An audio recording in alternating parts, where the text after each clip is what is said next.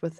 So I've been wanting to talk about this for a long time because there's been so much confusion about it. And because somebody like Tim Noakes here in South Africa, who's a well known sports scientist, um, wrote this book about um, Banting, which is what the ketogenic diet is really all about. It's just an old fashioned name that was coined by somebody many years ago.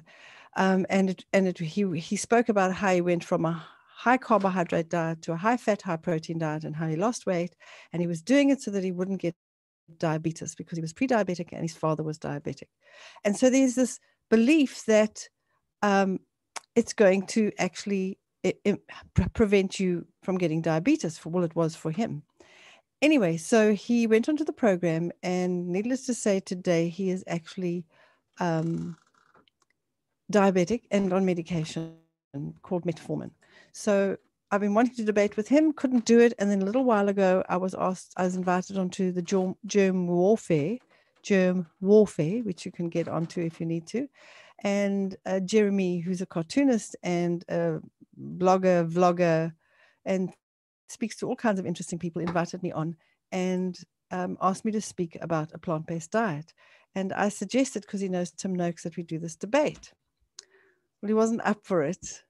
Um, I'm still up for it if anybody can organize it. I'd love to have a debate. So, what I decided to do was we'll take a look at plant based diet and we'll take a look at the ketogenic diet and we'll look at what's good about them and what's not so good about them. And they both have good and bad.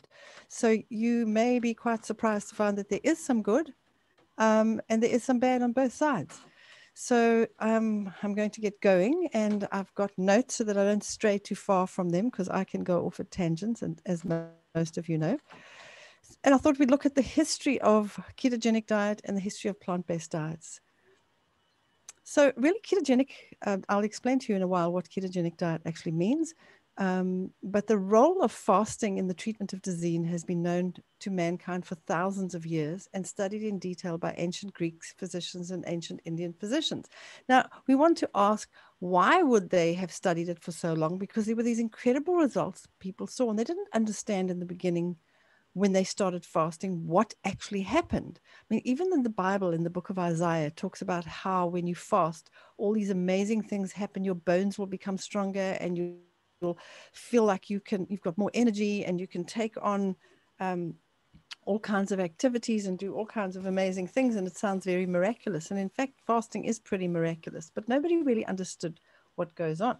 And in fact, what happens is keto, ketogenic ketogenesis actually takes place. You in a on a keto process when you are fasting. So um, as early as the treatise in the Hippocratic Corpus, it says on the sacred disease, describes how alterations in diet played a role in epilepsy management.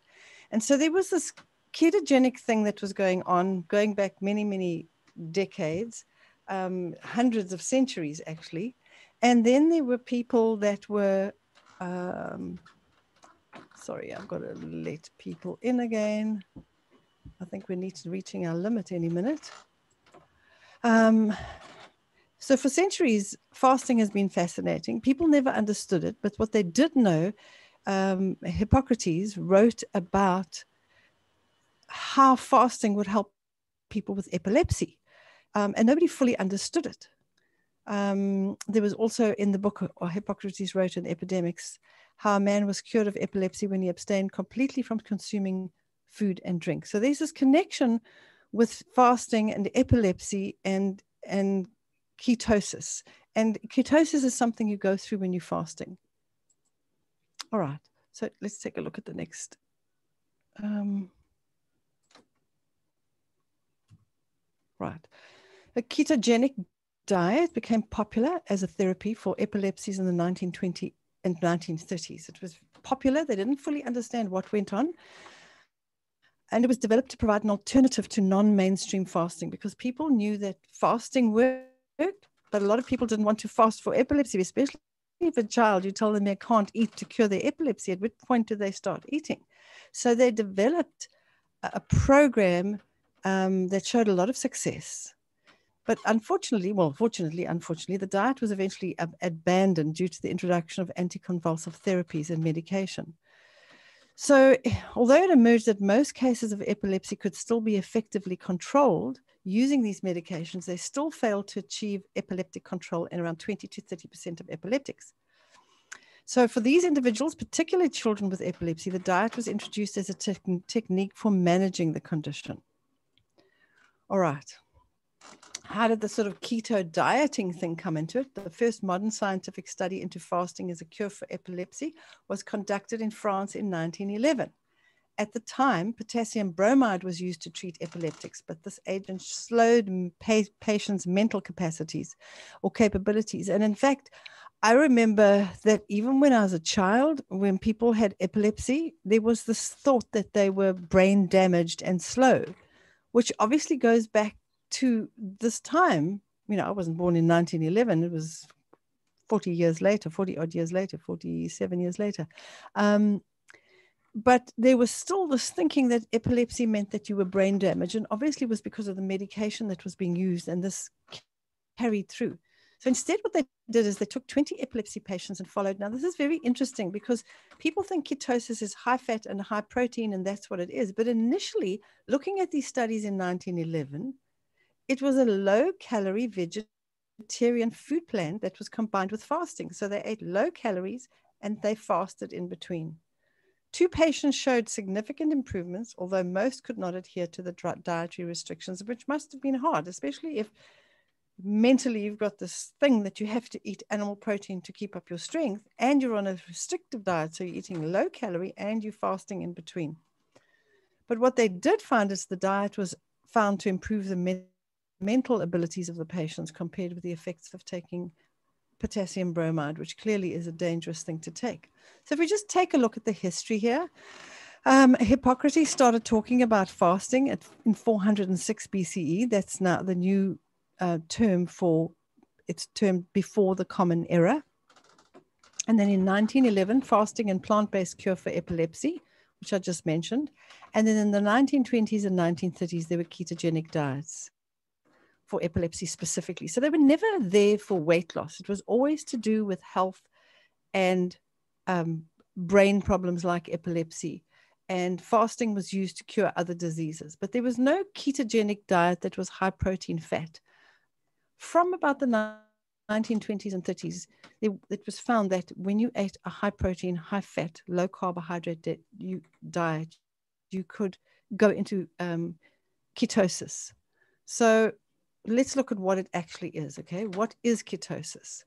So, ketosis is the process in which the liver breaks down fats into ketones, which are then used as energy. This comes about from the fact that the body does not have enough glucose to provide itself with enough energy. Now, this happens when you fast. When you fast, your body breaks down your fat reserves until it has no more. And only when it's broken down all your fat reserves is it dangerous to continue fasting. And one of the ways that you know that the ketosis is complete is that your breath tastes sweet. So when you're on a, a fast, your breath smells disgusting and it's from this ketosis. And it happens when you're eating a high protein, high fat diet that you have this terrible taste in your mouth. And I know because I used to do this. I remember I was on the Atkins diet in the 1970s. And I remember saying to a friend that my breath tasted and smelled like the cat's breath. We had a cat, and the cats eat a high fat, high protein diet. And so I had this terrible taste in my mouth. And you do, people that are in ketosis have this terrible smell coming out of their mouth. And it's, you can actually smell it. It's quite a, a vinegary kind of smell as well. So it's it comes about, as I said, because the body doesn't have enough glucose. Because if you're not eating anything, you're not taking in any glucose. We don't store glucose except in the form of fat. So the body breaks the fat down and converts it into glucose so that it, it's got enough energy. So the keto diet insists, the keto diet today, the way people follow it today, they insist on the, the carb count to be on an average of less than 50 grams in a day, which is basically that cupful of berries you can have, or two very small apples, and that's it. Not a grain of rice, not a morsel of bread, not a not a potato. Well, I suppose they might allow you a sweet potato on some of the programs, but 50 grams is very little. If you had to take refined sugar and put it into a little box, it would be about between half a uh, half a matchbox to a box full of refined sugar. Okay, so for the for the diet, the less the carbohydrates, the better. If you're on the keto diet, the less carbohydrates you, the better. Everybody who's on a keto diet will tell you that. So when you're on the keto diet, your body changes from using carbohydrates now, you've got to understand that carbohydrates are essential for the functioning of the brain. If you don't have carbohydrates for your brain, you're in trouble. Your central nervous system has to have carbohydrates. You've got to have glucose in some form. So your body takes the fats and breaks this down. And as I said, that when you get this taste in your mouth. Um, and so you your body is breaking down fats. The problem with that, and we've got these little kidneys on the right, is that it means that you are burning a lot of fat. This is one of the reasons why it's effective as a weight loss program. But it's also one of the reasons why your kidneys can get into real trouble on this diet. It's a big problem is that you see kidneys. I've had people with kidneys have literally shut down, um, or people have this continual ache in their back and they're not sure what that is. It's the kidney straining. Kidneys are very involved in the process of converting fat into carbohydrates for energy. So it's not an ideal program to follow. But as I said, there are, strangely enough, some benefits, and we're going to get there now.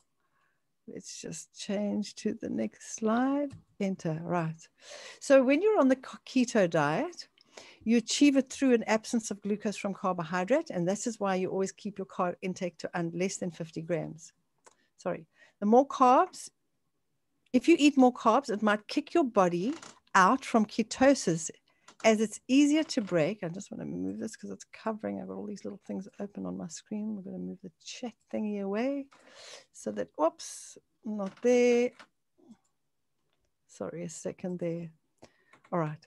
So I want you to read this carefully. If you eat more carbs, you might kick out your body, kick your body out from ketosis as it's easier to break down carbs for energy. Okay. It's much easier compared to fats. And if given a choice, listen to this, the body will always choose carbs over fat. Now, that's really, really important because the natural thing for your body to do is to make energy from carbohydrates. So, if you put the carbs in, you stop the whole ketosis process and then you stop losing fat.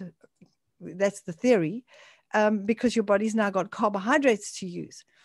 Um, and in fact, it's a strange thing that, that happens with people on these keto diets, and I've seen it and I've seen it in myself. You get to a point usually within six to 18 months, some people can take five years. It depends on how strict they are. You get to a point where you can't lose any more weight and you start to gain weight. You just, the fat's not converting into carbs anymore. And the only way to break that cycle is to start eating carbohydrates. But the other side of it is if you're on a keto diet and you go from a keto diet onto a whole food plant-based diet and you start eating whole grains and, and, and things like that, very often those people that go straight off a keto diet onto a plant-based diet may actually gain weight initially because the body's metabolic processes are so messed up from what you've been doing. So it's important for you to understand that as we go, this is not something that's natural to do. The same that fasting is a natural thing to do when we lose our appetite. When your breath tastes clean, you've burnt up all your fat reserves, and the, the toxins are stored in fat when some, your body can't deal with something that's toxic to it it wraps it in a fat molecule and stores it. It may store it around your waist it may store it on your back and it could store it in the fat that's in between your organs in your body. So you start to feel very uncomfortable when you've used up all your fats and you don't sleep very well. And that as i say when your breath the first sign that a, a fast is complete is that your breath tastes sweet and smells sweet so it's important. So it's only for a period of time. So if you go into a keto diet on a prolonged period of time, and it's the last thing I would put a child onto is a keto diet. But it, I'll explain to you why some people do it and why they see results. Okay. So remember, if given a choice, your body will always choose carbohydrates over fats because it's designed to do that. And if it's designed to do that, why are we not doing it? Oh, come on. I need to get Right. So, although the aim of this diet is to kick the body into ketosis, it's not as easy as you might think. And there are two ways which we can do this. We've already spoken about fasting, and the other one is through restricting the consumption of carbohydrates. And today it's become a whole diet thing. It's all about weight loss, but try to swing it and say, oh, but old I can do this to prevent diabetes. And a lot of the stuff written on it says you're probably going to prevent diabetes, but there's no actual scientific evidence for that whatsoever. All the studies are showing that it's the exact opposite, in fact. So there are different kinds of ketogenic diets, and some of them are better than others, but it's an interesting thing to look at. Um, you got the standard ketogenic diet, which is known as the SKD. It encourages you to maintain low carb intake, moderate protein intake, and, and a high fat intake. And that's why people are confused. When you hear somebody's on a keto, keto diet and they tell you they eat like this, and you somebody else tells you they're on a keto diet and it's a different thing. There are four basic types, and it's important for you to remember this so that you can just understand why there seems to be this confusion.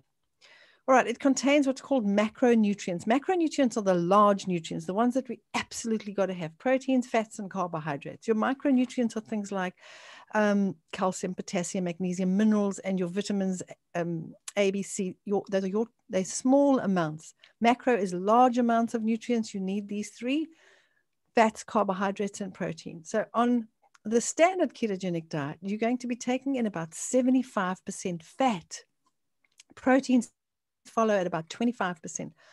So 95% of your diet is fat and protein, and only 5% is carbohydrates. Now, not all carbohydrates are alkaline forming, and we're going to be talking about that.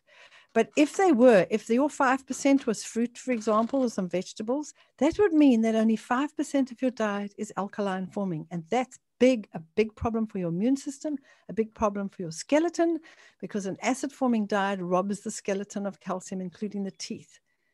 And we know that a high acid forming diet causes problems with the immune system because the body's so busy trying to protect itself and defend itself and trying to stop itself from going into a state of acidosis that it's not paying attention to the immune system. So you're going to put your immune system into a weakened state. Then you get the cyclical ketogenic diet. It's probably one of the better ketogenic diets to follow if you were doing it, but it's still not ideal. And that's the cyclical or cyclical, cyclical ketogenic diet and or the CKD. So what this involves is periods of higher carbohydrates, what they call refeeding. It means you have a period of low carb intake followed by a period of high carb intake in a week. So for example, some people might have low carbs for a week and then on the weekends it's high carbs. This could be five days of strictly following a keto diet and two days of high carb intake. And a lot of people have sort of done that because it's really difficult to live without carbohydrates. And they find that it helps them keep their sanity, but still not ideal because you've still got five days that are 95% acid forming, basically. Then you get the targeted ketogenic diet or the TKD, looks like you need a degree in keto dieting to actually know all of this stuff. Not really, it's not that complicated. The targeted keto diet allows you to add carbohydrates around your workouts. In short, you add carbs when you need them. So this can be during your workout or when you have a heavy task you need to perform.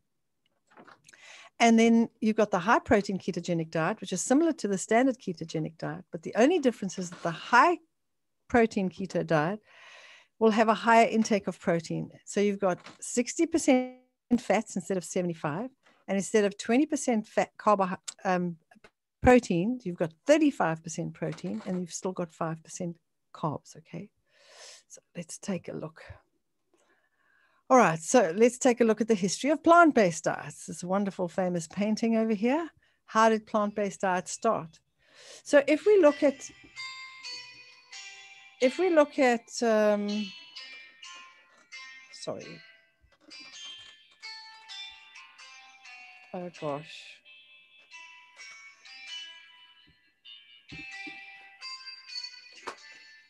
Right, it's given me time to just submit one here.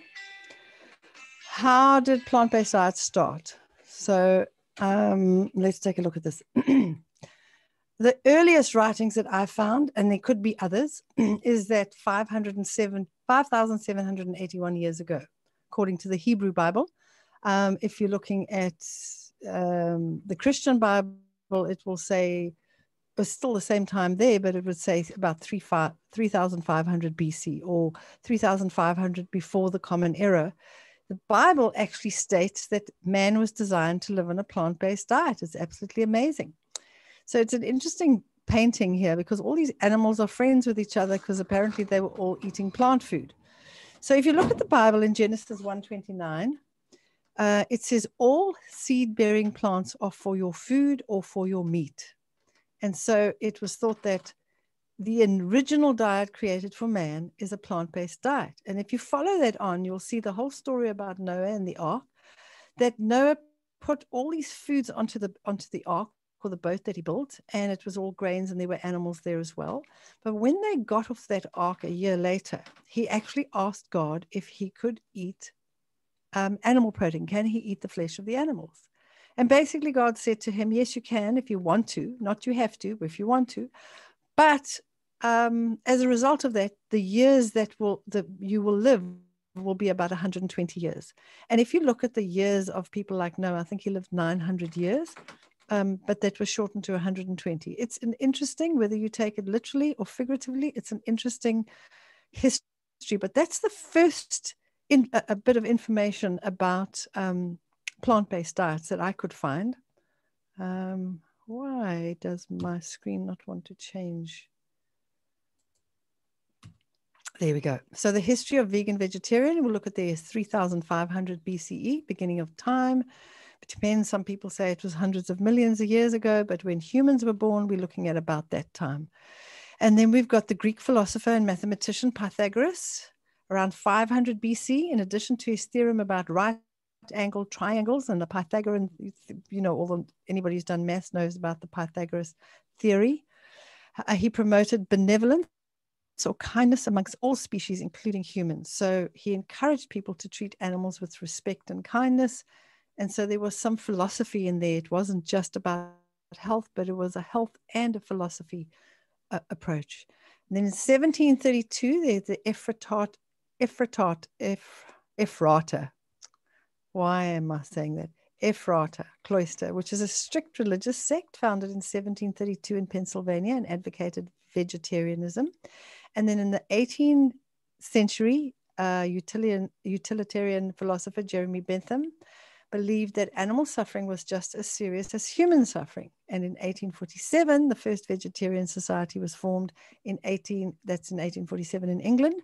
Three years later, Reverend Sylvester Graham, who invented the Graham cracker. Now, the Graham cracker is a bit like a digestive biscuit. It was like the guy that invented the digestive biscuit. It was just this dry biscuit made up of like flour and lots of bran. It was very whole wheaty and there wasn't much in it. In fact, it's crumbled easily and people would eat it if they were really hungry, like starving. Um, he co founded the American Vegetarian Society whole food plant based diets, the whole idea of the whole food plant based diet came about. It was never, I've never heard it mentioned, I haven't seen it in any writing. And it came about after what was known as the Grand Prix of Nutritional Research, which was done in the 1990s. Dr. Colin Campbell from Cornell University, Professor Emeritus, coined the phrase. He headed the research at the time, um, and it wasn't one study. That was one particular study done in China, but there were about 300 studies over about a 30 year period involving over a million people leading up to this. And why he coined it, and I've met him personally, and he said he wanted to differentiate from vegetarianism and vegan diets because they're very often very processed. For example, you'll find vegans or vegetarians who lived on processed things that are made of gluten and all kinds of preservatives and additives and flavorants to look like a sausage or a pork chop or a meat pie.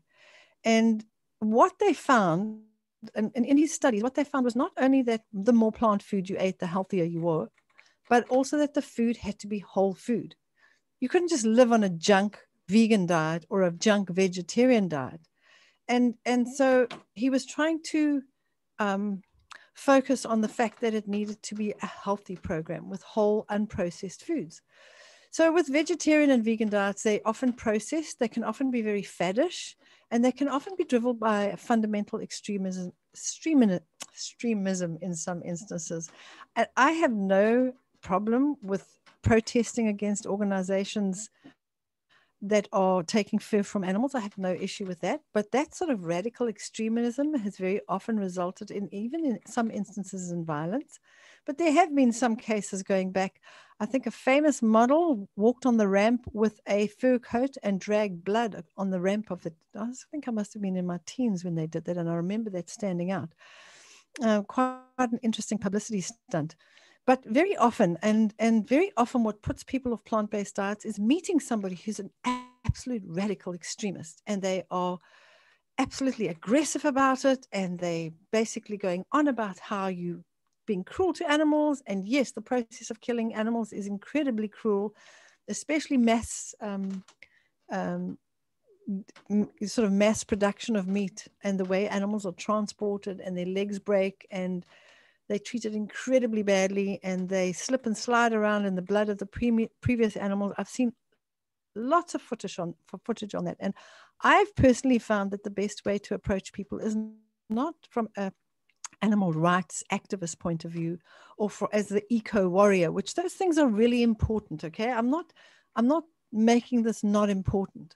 I'm just saying that i often have found the best way to approach people is from a health point of view and i know that that's what initially attracted me is that my life could improve and it may be very selfish to be oh well this can help me but you begin to realize once you're on a plant-based diet that you are being kinder to the environment and you actually like that feeling and so it grows and that you are being kinder to animals. So i wouldn't approach anybody if you are a radical extremist from those two points of view. It works with some people, with some people just totally puts them off. And it's one of the drawbacks of following a plant-based diet is that it's like network marketing or direct selling. You know, everybody has been somebody got a hold of you and they've got a badge that says lose weight, ask me how, and they drag you into a meeting and it's rah rah, and you can drive a Porsche in six weeks and you buy a whole lot of juices and you stick them in your garage and you've got like thousands of dollars or rands sitting in your garage of stuff that you don't even use you don't even like the taste of it. And so it's like it's like that. People are so put off by network marketing or direct selling of a product that they don't want anything to do with it. And it's the same thing. When we are fundamentalist and obsessive about it and radical about it and we go and approach people and we get in their face about it it puts them off and as I say, that's one of the, the drawbacks of it. And I understand the passion. I myself am passionate about living on a plant based diet, but the whole food plant based approach was all about health. How they benefit the environment and are kinder to animals, but that's not what the focus is. It's always been whole food plant based diets. It's based on solid science and research, and it's based on real people in real communities, not just some kind of theories. So we're going to take a look at some of the real things, and I'm going to show you a little video. We might go over at the rate I'm going. Um, the blue zones are an example of people who all live on a plant-based diet. They have they live very long. Average life expectancy is 90 to 100, and they're the healthiest living people at those ages. Their bladders, their bowels, and their bellies all work perfectly. And if you look at them, there's Loma Linda up here in Southern California, and then in uh, Nicoya in um, Costa Rica, Sardinia in Italy, Icaria, Icaria or Icarus in Greece, and Okinawa in Japan. And the reason they were called blue zones is simply that the guy that was doing it and the people that were studying it, um, uh, Dan Buettner from National Geographic, they had a blue pen and they just drew these circles on the map, and that's how they got known as blue zones. Nothing more complicated than that. But what we do know is they move naturally, they have the right tribe, they have the right community, they have a community around them let's look at the keto eater's life expectancy. If you don't mind just muting your um, your mic at the bottom left hand, then we don't won't hear you eating supper or banging anything in the background. Okay. So very often keto eaters will say to people that, but the Maasai live incredibly well and they drink blood and they eat meat and they don't eat any carbohydrates. They're from Tanzania. The life expectancy for men who do this blood drinking thing and they eat meat for a quite a sort of an initiation process is when they drink the blood and they only eat meat. They don't do it all the time, but they do eat a high animal protein and fat, reasonably high fat intake. They grow very tall because of their high protein intake, but they're very, very skinny. Their life expectancy is 42 for men and 44 for women, which is very similar to the Eskimos. And then you may say, but what about the Eskimos? And the question's often raised eh, to challenge a plant based diet um, and they say, but it's good for your heart and your health overall. Okay. And the idea is that diet of fish and blubber, blubber, not vegetables and fruits, has kept Arctic natives free of disease. Um, has been around for a long time. And it's an interesting thing because I only found it today when I was putting this together that there's a new study published in the Canadian Journal of Cardiology that suggests that this myth is in fact this is, myth is in fact a myth.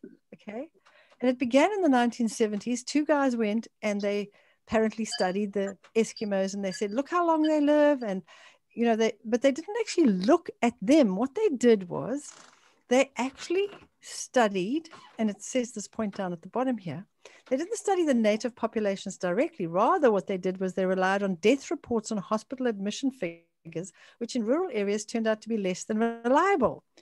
So it didn't make any sense. But they now know that the studies are showing there's 20 studies, including 68,680 patients, finding that fish oil had no effect on heart related deaths, heart attacks, or strokes. Second, in 2012, showed that fish oil did not prevent the recurrence of heart problems.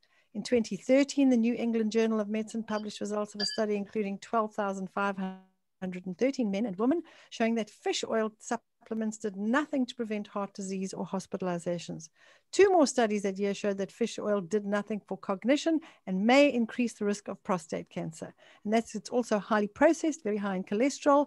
You don't just squeeze a fish and get out oil. You take the fillets, you sell those, you take the skin and the skeleton and the eyes and the innards the liver, the lungs, and the heart, and you squish it all together. It's called mastication, and you add uh, macerating, actually, masticating, chewing, macerating, and then you use chemical solvents to extract those things out of there. Okay.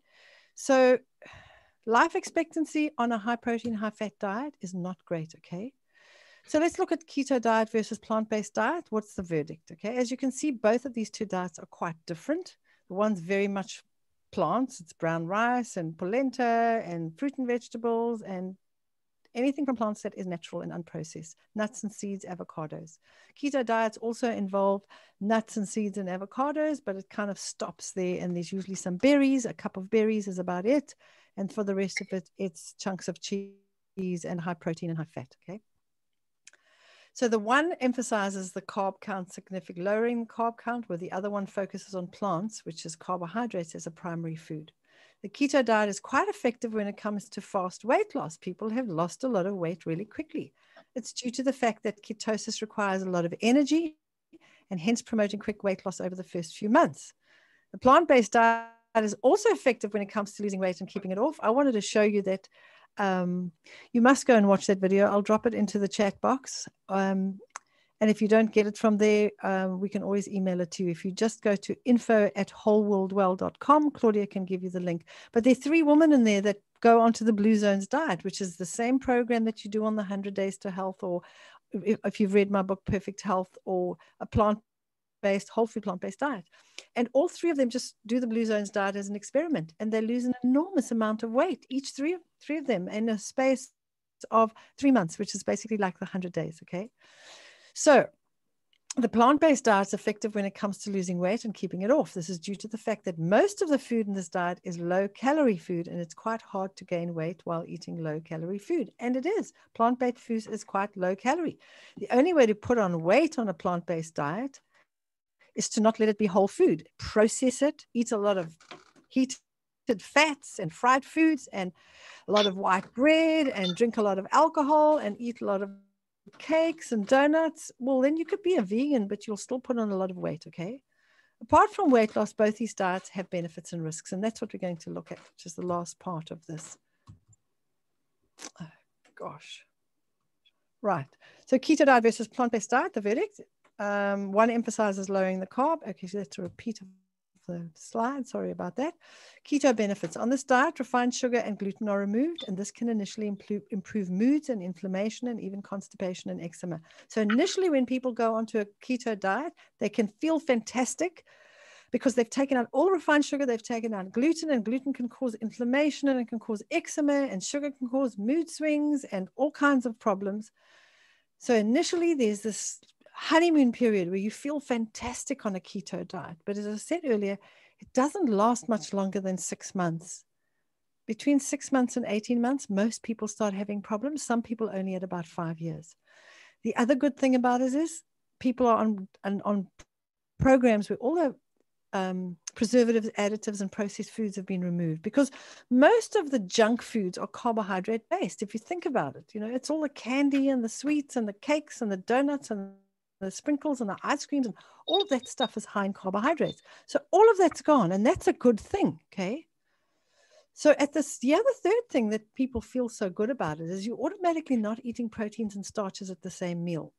Now, one of the things I've always advocated is not eating animal protein and, and starches at the same meal because it causes fermentation. And with fermentation, you get alcohol produced in the digestive tract, acetic acid, ammonia, and all of that can contribute to really severe allergies. And you will get, um, you'll have gas produced, and you could have a lot of gas and belching. You could find that you suffer from reflux, you suffer from hiatus hernia, you suffer from regurgitating your meal, you just never feel comfortable digestively. And I have had little children, 18 months old, gone to five different pediatricians, nothing helps. Um, please mute somebody, mute your mic, please, as I can hear you eating your supper. It sounds like you're scraping your plate, must have been delicious. Um, so just mute it on the bottom left-hand side of your screen. So initially, there's this improved digestion and you'll have more energy and less flatulence and less digestive discomfort.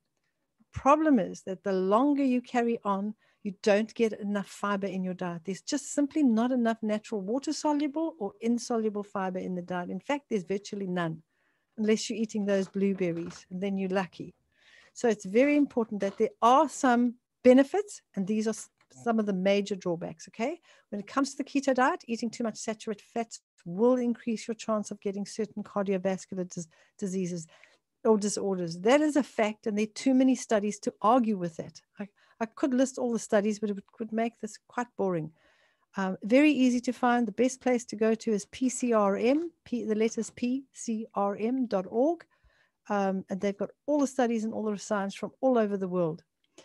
They actually got the American government to change the food group theory to the power plate. So lack of natural fiber from fruits, whole grains and legumes is the second reason it's not good. Reduces the fiber intake to levels where there's not sufficient to regulate the bowels. Now this causes constipation and would necessitate the need for a fiber supplement. If you want to carry on being on keto, I, recommend you take herbal fiber blend and live on it. Don't stop taking it, okay? You must take something to help your bowels move properly. Because if they don't empty every 24 hours at least, you're going to be in trouble, okay? If you don't, you could, uh, one the most common forms of cancer in westernized countries where our diets are high in animal protein and fats and low in natural fiber is colorectal cancer. It's the number one kind of cancer. If you're trying to avoid that, you need fiber. So three times a day, every time you eat something, take some herbal fiber blend with it that'll actually just it's got water soluble fiber that's the the soluble one and then the insoluble which is the husks and things so it's a nice combination of the two now the high intake of animal protein is known to be detrimental to the thyroid gland okay? And what the thyroid gland controls is mental clarity controls your bowel function controls your metabolism your body weight your muscle tone. So initially you might experience improved muscle tone because you're taking in more protein. You might experience um, your stomach's working better because the gluten's gone and you're not mixing proteins and starching starches and so all the belching and the farting and the passing of gas all that's gone and you think this is wonderful but what happens is that the, when the thyroid stops working properly on a high protein diet and as i said it can take six months up to five years and the thyroid just goes starts to go slowly and slower and slower and eventually you're constipated because it, it controls the movement of food through the digestive tract you you end up with terrible brain fog. You just, your head feels like it can't focus at all. Your mental clarity is gone and this brain fog. And then you've got, you could end up with problems with your muscle tone is regresses. You don't have this great muscle tone and you're exercising and you're not feeling particularly strong because your muscle tone's not great. So you actually become weaker. So initially there's strength because you've taken out all the preservatives, the additives, the gluten, and you're not mixing proteins and starches. So there's this, as I say, honeymoon period, and then this is what starts to happen.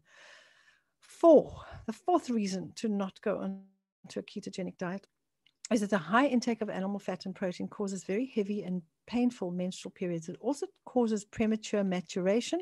You'll find young children with high protein, high fat diets start to menstruate at the age of nine. They start to, to develop pubic hair, hair under their armpits, um, and the earlier you menstruate, the more chance there is of you suffering from breast cancer. So it's not a good thing to start menstruating at a young age. The average age of menstruation in, in communities like in rural China, where there isn't um, a high intake of animal fat and protein, they'll eat a bit of fish occasionally and an odd egg, but it's mainly plant food. It's 90% plant food. The average age in a country like China, in the rural areas, I'm not talking about the cities like Hong Kong, for example, because that's the fast food places and they eat a westernized diet.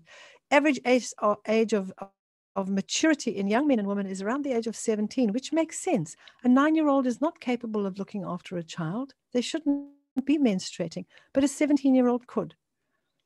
Okay. Heavy menstrual periods. I suffered from seven days bleeding really badly. It was very bad when I went onto the Atkins diet in the 70s. Very heavy, very lots of clots. I used to feel like I was miscarrying every month. It was awful.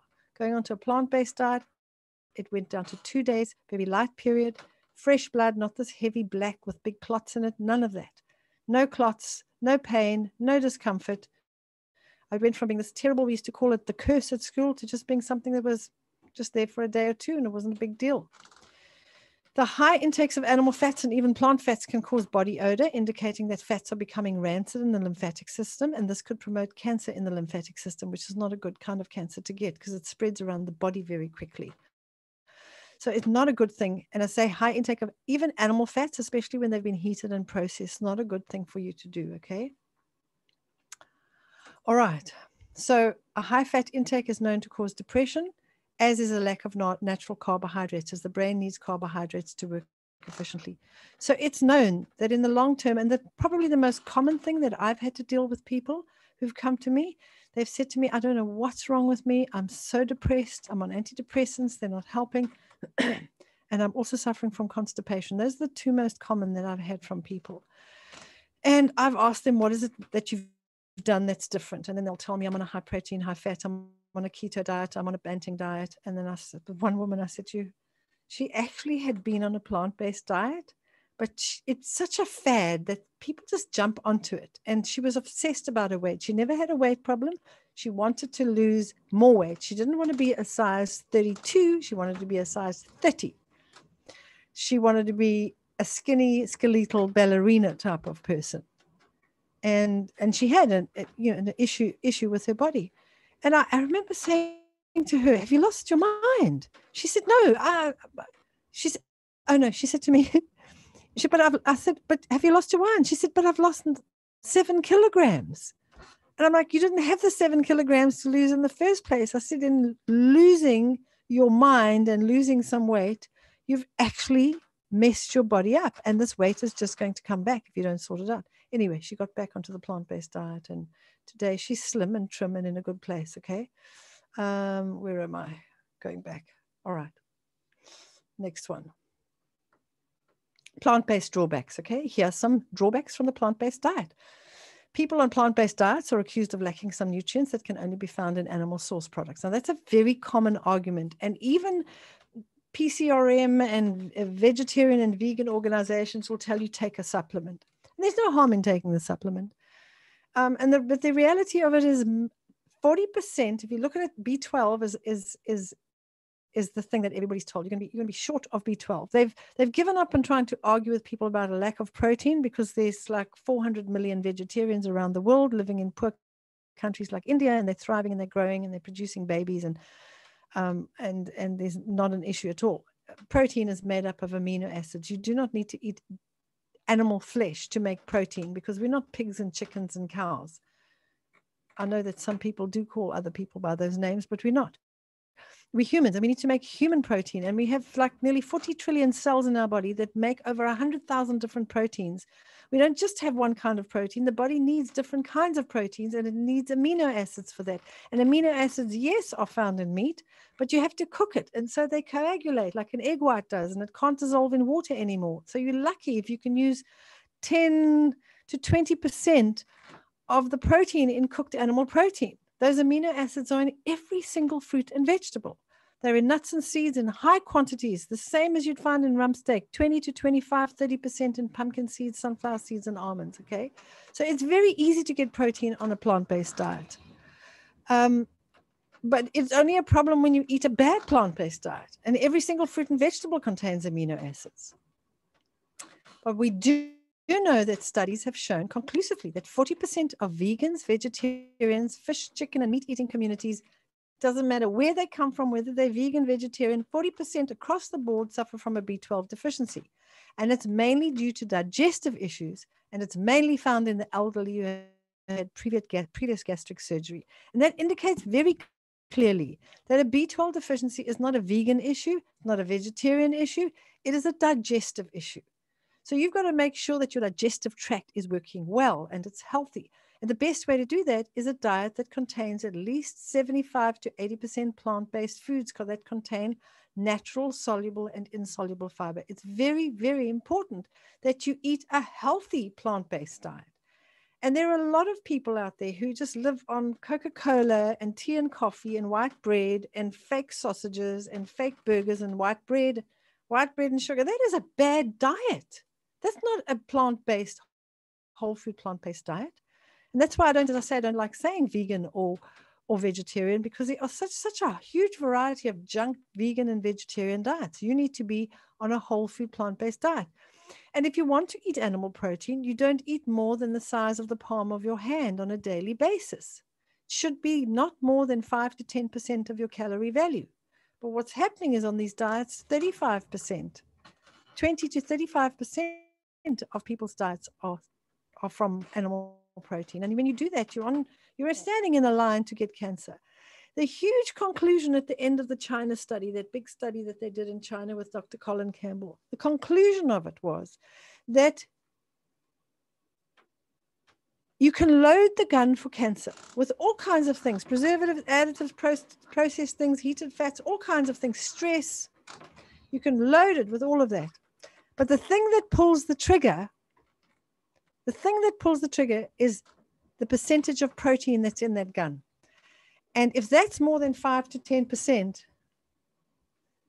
if that's more than 5 to 10% of your daily calorie intake, then you will pull the trigger for cancer. So am I saying never eat animal protein?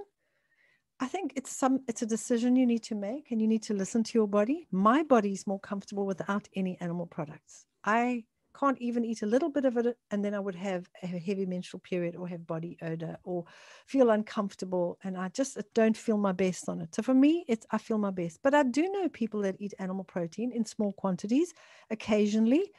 And as I said, not more than the size of the palm of your hand on a daily basis. So an egg would be that size, or a piece of fish, or a piece of chicken, but it must be from a source that is organic and natural and not one that's been um, it's not it shouldn't be from a source. Sorry i've got somebody in the waiting room here. Admit all. Let me go back to my notes. Right. Um, you shouldn't be eating animal protein from a source where the animals have been fed hormones of any kind to speed up their growth because they will be given estrogen based hormones. There are like 11 different hormones given to animals to increase their growth, particularly cattle, but even from chickens up. And even um, salmon can be fed um, protein to increase their, their growth. And that's what protein does. It, makes you grow very fast, too fast, in fact. And so instead of a cow growing to be fully grown in like 18 months to three years, it'll be there, it'll get there in three to four months. And that's not good for you to eat that. So if you're going to eat animal product, make sure that it's pure and natural and organic, contains no um, hormones, added hormones. And I do recommend you rather keep your animal intake to between one and three times a week, the size of the palm of your hand, because the studies have shown that when you go over the 10% of your calorie value, it triggers cancer. They can switch it on and off by increasing the cancer amount, uh, the animal protein content, and by decreasing it. So it's important that you understand that. And also, um, further studies have shown that if you eat more than 600 grams of animal protein in a week, you're standing in a line to get cancer as well. So that's independent studies, not funded by anybody. Whereas you'll find most often um, so called science telling you that we need to eat a high protein diet is funded by large meat industry communities. All right. So one is that um, it might there might be a B12 issue, which is a non-issue because that's a digestive issue, not a vegetarian issue. Socializing can be difficult at times because meat eaters tend to tease plant-based eaters and can be thoughtless in providing whole food plant based options. How many times you gone out and you like eating plant based and you didn't think about it, and uh, you get there and there's meat on the barbecue or the braai and bread and alcohol. That's it. So what I tell everybody to take is offer to take a nice big salad and a platter of veggies and take along some giant big brown mushrooms and put them on the barbecue. Find a place where there's no dried blood, cooked blood. Or take a dish, take a, a pasta dish and a salad, take a pasta salad and a, and, and a raw food platter with avocado dip or something. So that if there is nothing for you to eat there, at least you've got your pasta dish for you to eat with all your delicious, healthy things in it, or a nice warm potato salad with olives in it and um, what's my favorite things in there little baby cocktail tomatoes olives you can make some cashew mayonnaise you can take just delicious stuff so take it with you fanaticism can make it unpleasant. It's a drawback to be around vegan vegetarian and they can be seen as judgmental self-righteous and put others off. I've had vegans and vegetarians put me off being vegan and vegetarian and i'm vegan. I don't actually want to talk to them because it's they're intense, they're in your face. They just, they're coming in there and they're just like, oh, you know, like they don't even actually think about anything. They go on and on and on about people eating honey, and you can't be a vegan if you eat honey. And I say, Do you eat almonds? And they say, Yes, I do. That's my main source of protein.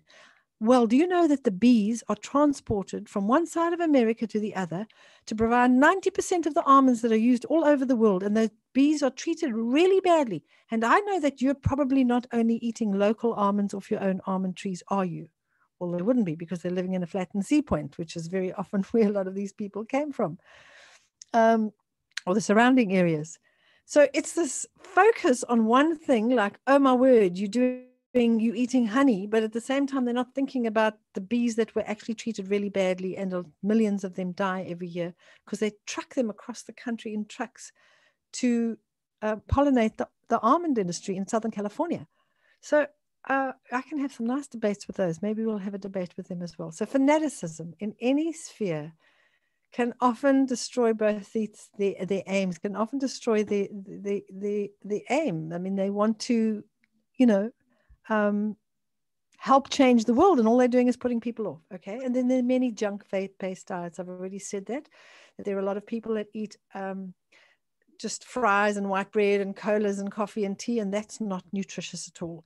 And that's why I focus. I would recommend that you focus on a whole food plant based diet so that you're actually conscious of the fact that you're eating. You need to eat decent nutrients. Okay. Plant-based benefits, a whole food plant-based diet is alkaline forming and as such in the long term increases your energy by up to one third. It's one of the reasons why when people go on our 30-day detox or the 100 days to health or on our personally coached group where I coach people personally um, for an eight-week period, um, they the, one of the first things they say within the first week or two is their energy is increased dramatically. Um, so your energy increases a third, and we know that you reduce your chances of cancer, heart disease, and diabetes on an alkaline forming diet because you're taking in a lot of um, concentrated antioxidants. And I thought I'd put that in here today, but I didn't. Your antioxidants that you're taking in are huge, and that's what's lacking in a keto diet. They're just not enough antioxidants to protect your body from pollution from heated and processed fats, from stress, from all the things that damage our cells, and those damaged cells multiply, they cause cancer. So you've got to eat a diet that is high in natural antioxidants, your vitamin C, and taking supplements. This is what happens. People go on a keto diet and they're taking handfuls of artificial vitamins manufactured in a laboratory that your body can't use. 90 to 96% is that is urinated straight into the toilet straining those kidneys that have already been strained from the fact that they're having to convert fat into, into glucose. So it's very important that you actually look after your body and your kidneys. Um, and taking supplementation is doesn't make sense to put 90 to 96% of your hard-earned money straight into the sewage system. And honestly, on our 100 days and on our personally coached groups and also the um, 30 day detox programs, we take everybody off all the supplements they're on, and they're only allowed juices and herbal things. So we have like a dried barley grass juice, and we have a herbal blend, and we have only dried things, actual fruit and vegetables that are just not easy to get, like cranberry juice dried, so that you can take that in case you get a bladder infection while you're detoxing on the detox program. So we know that a, ho- a high, if at least 75% of your diet is alkaline forming, it'll also preserve your skeletal structure and prevents the loss of calcium from your skeleton and teeth. So it prevents osteoporosis. I know I've gone over the eight o'clock. Um, I thought I'd speak faster. All right, sorry, I just got to go back. There we go.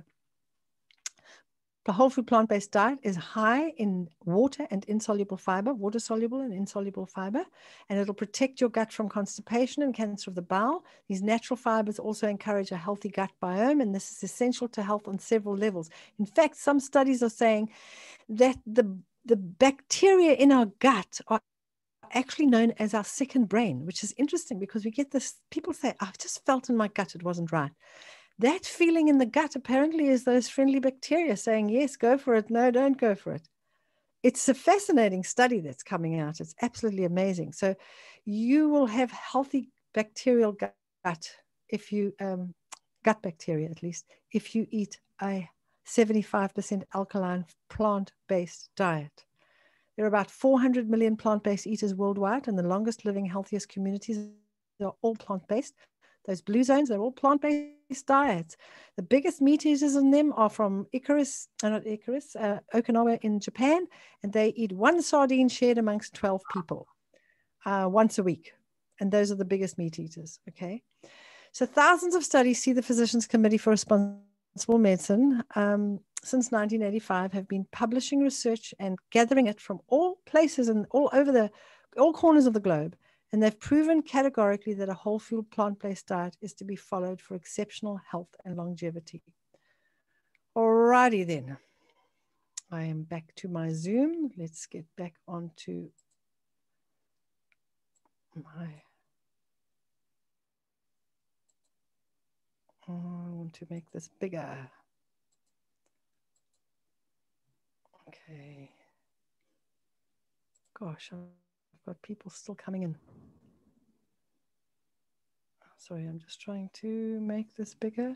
Stop the share. There we go. Right, I'm on the big screen at last. I can unmask myself and I can start, you can start asking questions. Um, I'm going to look into the chat box. There we go. Let's look at the chat and see what questions you've got. Hi there, can we record this or will it be on YouTube? We will have it on YouTube.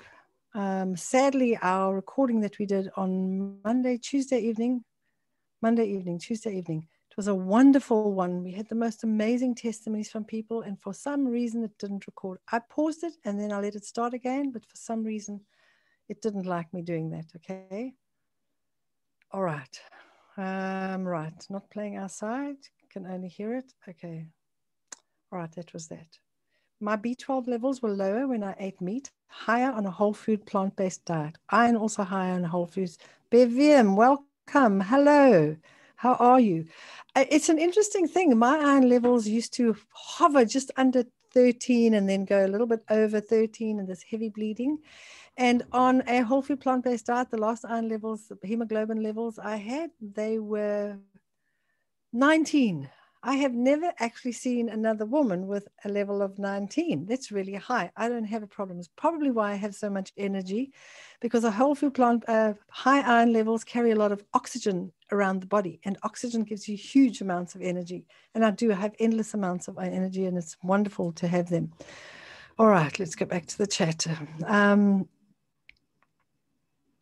Right, where are we? Whole, whole food plant based. WFPB is whole food plant based. Okay, you've got that. All right. Interested to know about your views on sunflower oil and sunflower lecithin. If you're going to use sunflower oil, it is best to make sure that it's completely cold pressed. I wouldn't take the lecithin out of the sunflower. You're processing the oil when you do that. Okay, you get lecithin everywhere you get vitamin E. Sorry, my camera is a separate one and it just slipped. Everywhere you get vitamin E, it, it, you get lecithin, okay? So wherever you'll get lecithin in olive oil, you'll get it in avocado oil, you'll get it in flax oil, you'll get lecithin in just about any oil. The only reason they take it out of soy oil and sunflower oil is because it's cheap oil. They don't take it out of olive oil. They don't take it out of flax oil because those are the expensive oils. Okay. Right. Let's go to the chat. Um, what do I think of intermittent fasting? I think it can be very good if it's done with wisdom. If you're going to do it on a keto diet, you're going to really suffer from constipation. You're really going to have to live on that herbal fiber blend because you're eating animal protein and then you're fasting. And then, because fasting slows down the digestive tract while you're doing it, and it takes a couple of days to get it all going again. So, intermittent fasting can be good. Intermittent fasting, usually, most people just don't eat until 12 o'clock, which I don't do anyway because I'm not hungry in the mornings. And then I stop eating at about four, five o'clock. I've done that for years. It didn't have a name. I just felt comfortable doing that. Mark and I would like to eat late. We're most comfortable eating a late breakfast, early lunch, and a late or a late lunch, early supper. That's how we sleep better. We feel our best and our bodies out the best. Didn't have know it had a name, and suddenly everybody started calling it intermittent fasting, which is really what it is. It's going for longer periods and resting the digestive tract which is beneficial to some people. Some people find it really helps their digestive tract function more efficiently. Some people find that they are incredibly hungry and they need to eat small meals often. But if you do have digestive problems, resting it for long periods of time is a good thing. So if you can stop eating at four or five o'clock and not eat until the next day at 10 or 11 o'clock, that's giving your digestive tract a good rest. It's not actually fasting. The body only goes into a fast. In other words, it goes into that, oops, your body only goes into a ketogenic state after three days of fasting. You don't really get into it properly until you've been not eating anything for three days. Okay, so it's not a real fast. Uh, it's a kind of a intermittent resting, I would call it. All right, so let's go to the chat over there and see. Um, what else are we? Whole food, plant based. Uh, thoughts on the paleo diet? Paleo diet and keto diet are very similar. They really are very similar. They carbohydrate free or very low carbohydrate. Paleo, Banting, and keto are basically the same, basically the same diet. Um, and everything I thought about that is also what I think about paleo diet. There are some benefits to it because you're not mixing proteins and starches. Just to recap, you're not eating refined sugar anymore. You've cut out all the preservatives, additives, and colorants. But in time, your endocrine system and your immune system will suffer, and that's not good. Okay. So, how can I increase my stomach acid as my levels are too low, yet I'm on a whole food plant based diet? Also, have gallstones. Okay. So, um, the easiest way to increase your high first let me explain to people we produce hydrochloric acid in our stomach from little cells called the parietal cells and your body uh, that's part of your hormonal system, believe it or not. Those little cells are part of the endocrine system. So they work together with all the hormones in the body. So if one part of the hormonal system is out of balance, say, for example, your thyroid's not working properly, that could affect those parietal cells, and then you don't produce enough hydrochloric acid. So you've got to look at getting your hormonal system. We've, we've all been trained to look at the symptom and treat the, the, the symptom and look for a cure. There's not one thing you could do. I could tell you to take Prepzymes, which is a digestive enzyme that's got hydrochloric acid in it, but it's not solving your problem. So it's a great thing to do if your food's not digesting properly and you're feeling really uncomfortable, and you can use it in the interim while you fix your diet up. But in the long term, I really recommend you get your endocrine, your hormonal system working properly. So how do you do that? Okay, your hormonal system, you get it to work properly by exercising outdoors for at least 20 minutes every day. Natural light and exercise has a very powerful effect on the digestive tract and the whole hormonal system. So, if you're not exercising and you're not getting ex- exercise outside, you're going to have problems. Dr. Andre Kruger, who's from Hoogland Hydro, he recommends that you actually exercise for 15 minutes before every meal if you want your food to digest properly. That's a little bit inconvenient. If you're living at the hydro, it's easy to do. Let's go for a walk and come back and eat. But if you're in the office, it's not always easy if you've got a whole lot of kids at home, it may not be that easy, but it's a thing to take into account. It's not a bad thing to go for a walk in the morning before breakfast. And if you can go for a walk before lunch, if you're working in an office for a company or working at home, you could go for a little walk. And then in the evening, you could go for another walk. But maybe you couldn't walk as too hot in midday. So maybe you could jump on your little rebounder on the veranda in the shade. All of that will help your digestive tract work more efficiently not because it's doing something directly to the stomach, it's doing something directly to the endocrine system. And the endocrine system makes the whole in hormonal system including the stomach, including the thyroid gland that also works on the digestive tract. It all works together, okay? So exercise and natural light. You also need to make sure that you've got essential fatty acids in your diet. So I recommend that you take a good source of flaxseed oil. The best that I've used, where I've seen the best results, is the Omega capsules. They are made from gelatin from water buffalo, and this is where the vegans have a hissy fit because I take these capsules they're just the best. I can't find anything that works as best as they do. And if I did find a liquid in a bottle that's nitrogen flushed and stays nitrogen flushed, even when I take the lid off, because that stabilizes the oil so it doesn't go rancid, then I wouldn't have a problem with it. So it's just tough, you know, unless I had my own press and I could press the stuff and then take the flax oil and then just drink it straight off the press. And I have seen it pressed before, but it's a very good, very big contraption and it's very heavy and expensive. Not something you keep in your kitchen. So um, at the end of the day, flax oil is important because omega 3s, one of the main reasons we end up having digestive problems is because the hormonal system's not working properly, because we don't have enough omega 3s in our diet. So we need omega 3s. I would recommend that you go on a gluten free diet because we do know that gluten affects the endocrine system. So that's important, okay? I would also recommend that you eat a high plant based diet and a lot of raw food. I also recommend that you cut out, if you've got hormonal issues that you cut out all dairy products and ultimately remove all animal products until your digestive tract has fixed itself. So even the little bit of chicken or fish or a little bit of cheese you might have every now and again, I'd make sure that there's none of that. But definitely I would get the gluten out. And then I would very definitely focus on trying to do some fasting. You can start with intermittent fasting, maybe skipping breakfast and eating lunch and having an early supper. But I do recommend you try and work towards a three day fast. You start off by doing a 12 hour fast, then a 24 hour fast, and then a 36 hour fast, and then a 72 hour fast. You do them at different times. Eventually, you get to a point where you can do a three day fast. For three days, you just drink water and rest so that your digestive tract can repair itself, those parietal cells can repair themselves. And then once you've done that, I recommend that you try and fast one day a week. And then the digestive tract just works wonderfully all the time. So it's a, a, a process. Um, and if you need more help on this, then I recommend that you read my book, Perfect Health, because in there I describe the process of fasting and how to treat your digestive tract properly, not mixing proteins with starches. Very often, when we're vegetarian, we just think we can eat anything mixed together. For example, I can't eat high carbohydrate foods with nuts and seeds. They don't digest for me. My stomach does not like it. It will not digest the protein at all. So it's not necessarily a lack of hydrochloric acid. It's just that you may have a sensitive stomach that just doesn't like that combination. So I would have nuts and seeds with neutral things like salads and vegetables. And I would have nuts and seeds with um, acid fruits like pineapples and strawberries and berries, for example. I'll make a fruit smoothie with that. But I wouldn't eat my nuts and seeds with bananas, which is, are a high carbohydrate fruit, because I get terrible indigestion from that. So I would read chapter four in my book, Perfect Health. That tells you exactly how the whole food combining thing works and why. Um, and then the section on fasting will help you let your digestive tract recover. Okay. Right. Intermittent fasting, better to fast for a whole day once a week. Personally, I would what I find comfortable is sometimes to do fast for half a day and sometimes to fast for a whole day. It's entirely up to you. I find in the long term, you probably have more benefit switching off for one whole day a week, but it's not always convenient. It's not always socially comfortable. And you may have a day where you like, oh, I'm really hungry today and it's my fasting day.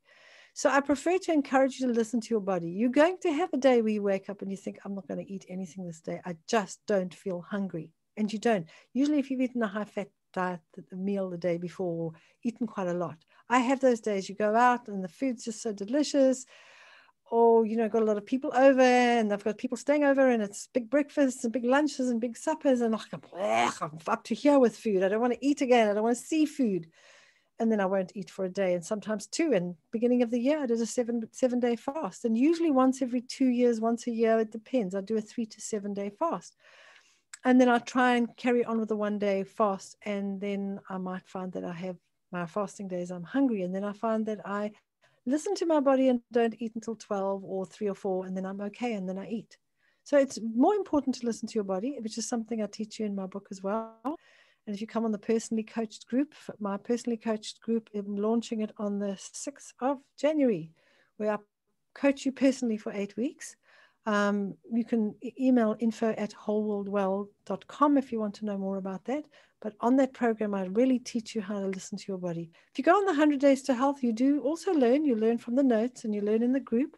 But if you really want me to hold your hand, so many people have asked me for such a long time to consult with me and see me privately. And I just honestly have found that private consultation doesn't work as well as group consultation does because you've got my daily support and you've got the support of the people in the group in WhatsApp and weekly Q and A. So it's a, just a group thing where you're working together. It's one of the things that came out of the blue zones is that people are so healthy because they belong to a community. It's very important for us to be part of a community. It's very healthy for us to be part of a community. So it's important that we find people that are like-minded. That's what I love about these groups. When you're in a group, some of those people become your best friend. And in some of the groups, we've had people get married.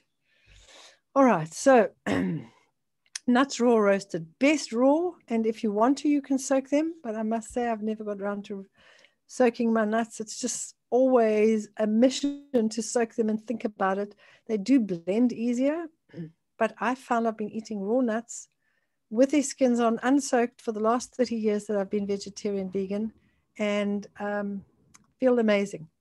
Never had a problem. All right, so um, where are we now? Questions, questions, questions. Right. Does the amount of carbs, sweet potato, potato, whole wheat, pasta, brown rice need to be limited for health? Dirk, that's an interesting question. I do find that once you're over the age of about 30, that most people need to sort of not pig out unless you're like a super charged sports person. Sorry, I need a sip. This is my peak endurance, my ready beats. Unless you're doing long distance and endurance type training, I would recommend if you're just an average person who walks for up to an hour a day and you're over 30, you're not growing anymore, you're not using huge amounts. The average person walking about 10,000 steps a day, you probably do better on not more than a cup of carbohydrates a day. If you are very active, you might do well. So for me, I'll eat a cup of rice if I'm going to eat rice. Some days I don't eat any concentrated carbohydrates other than I'll eat carbohydrates that are just vegetables contain carbohydrates, but much less. And I'll eat fruit. So I'll eat a lot of fruit. I'll eat a lot of veggies. And I find that most days I don't feel like having brown rice or millet or whatever. And then yet other times when I make pizza rice, oh my word, you've got to go onto YouTube and make sure you subscribe because if you don't, you don't get the new stuff we do. Pizza rice, okay? It's got artichokes in it and it's got olives in it and it's got fresh tomato and then you top it with avocados honestly, I could pick out in the whole pot and then I'm uncomfortable. So I make a point of when I do that, because there's so many veggies in it, I'll have like two cups of that, but I don't measure it. It what I tell people is it's like a cupped hand. That would be your cup.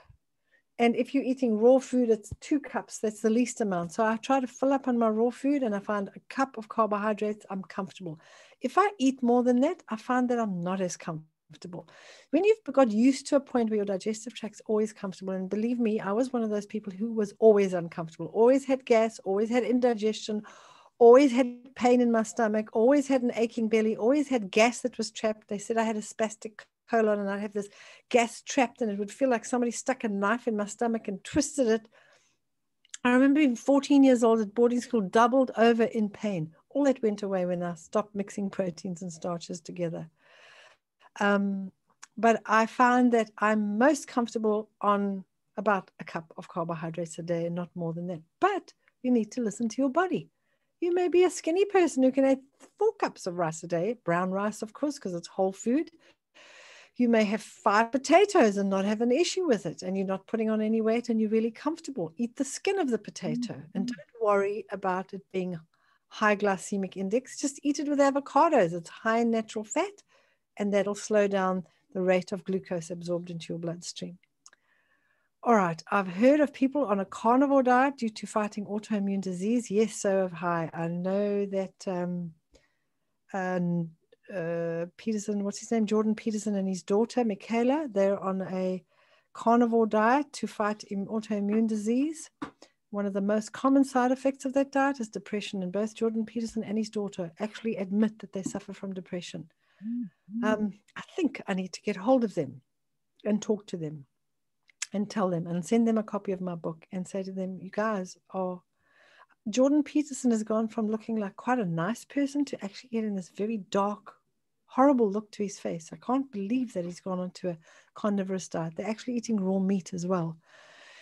And what people do, they do that because they end up with all these natural, um, they don't produce enough natural antihistamines because they're not having enough essential fats in it. They're not getting enough exercise. They're not getting enough natural light. They're not getting a whole lot of things that the endocrine system needs. And then you don't produce enough natural antihistamines because that's what your hormonal system also makes. And then you start having allergic reactions and weird reactions to this. And you're taking out the strawberries and you're taking out the avocados and you're taking out the rice and you're taking out this. But the reason you feel like your digestive tract's more comfortable is the same reason for keto. You're not mixing proteins and starches anymore, so your stomach's comfortable. But then they just start excluding everything because your your body just can't function like that. And your body actually starts to unravel.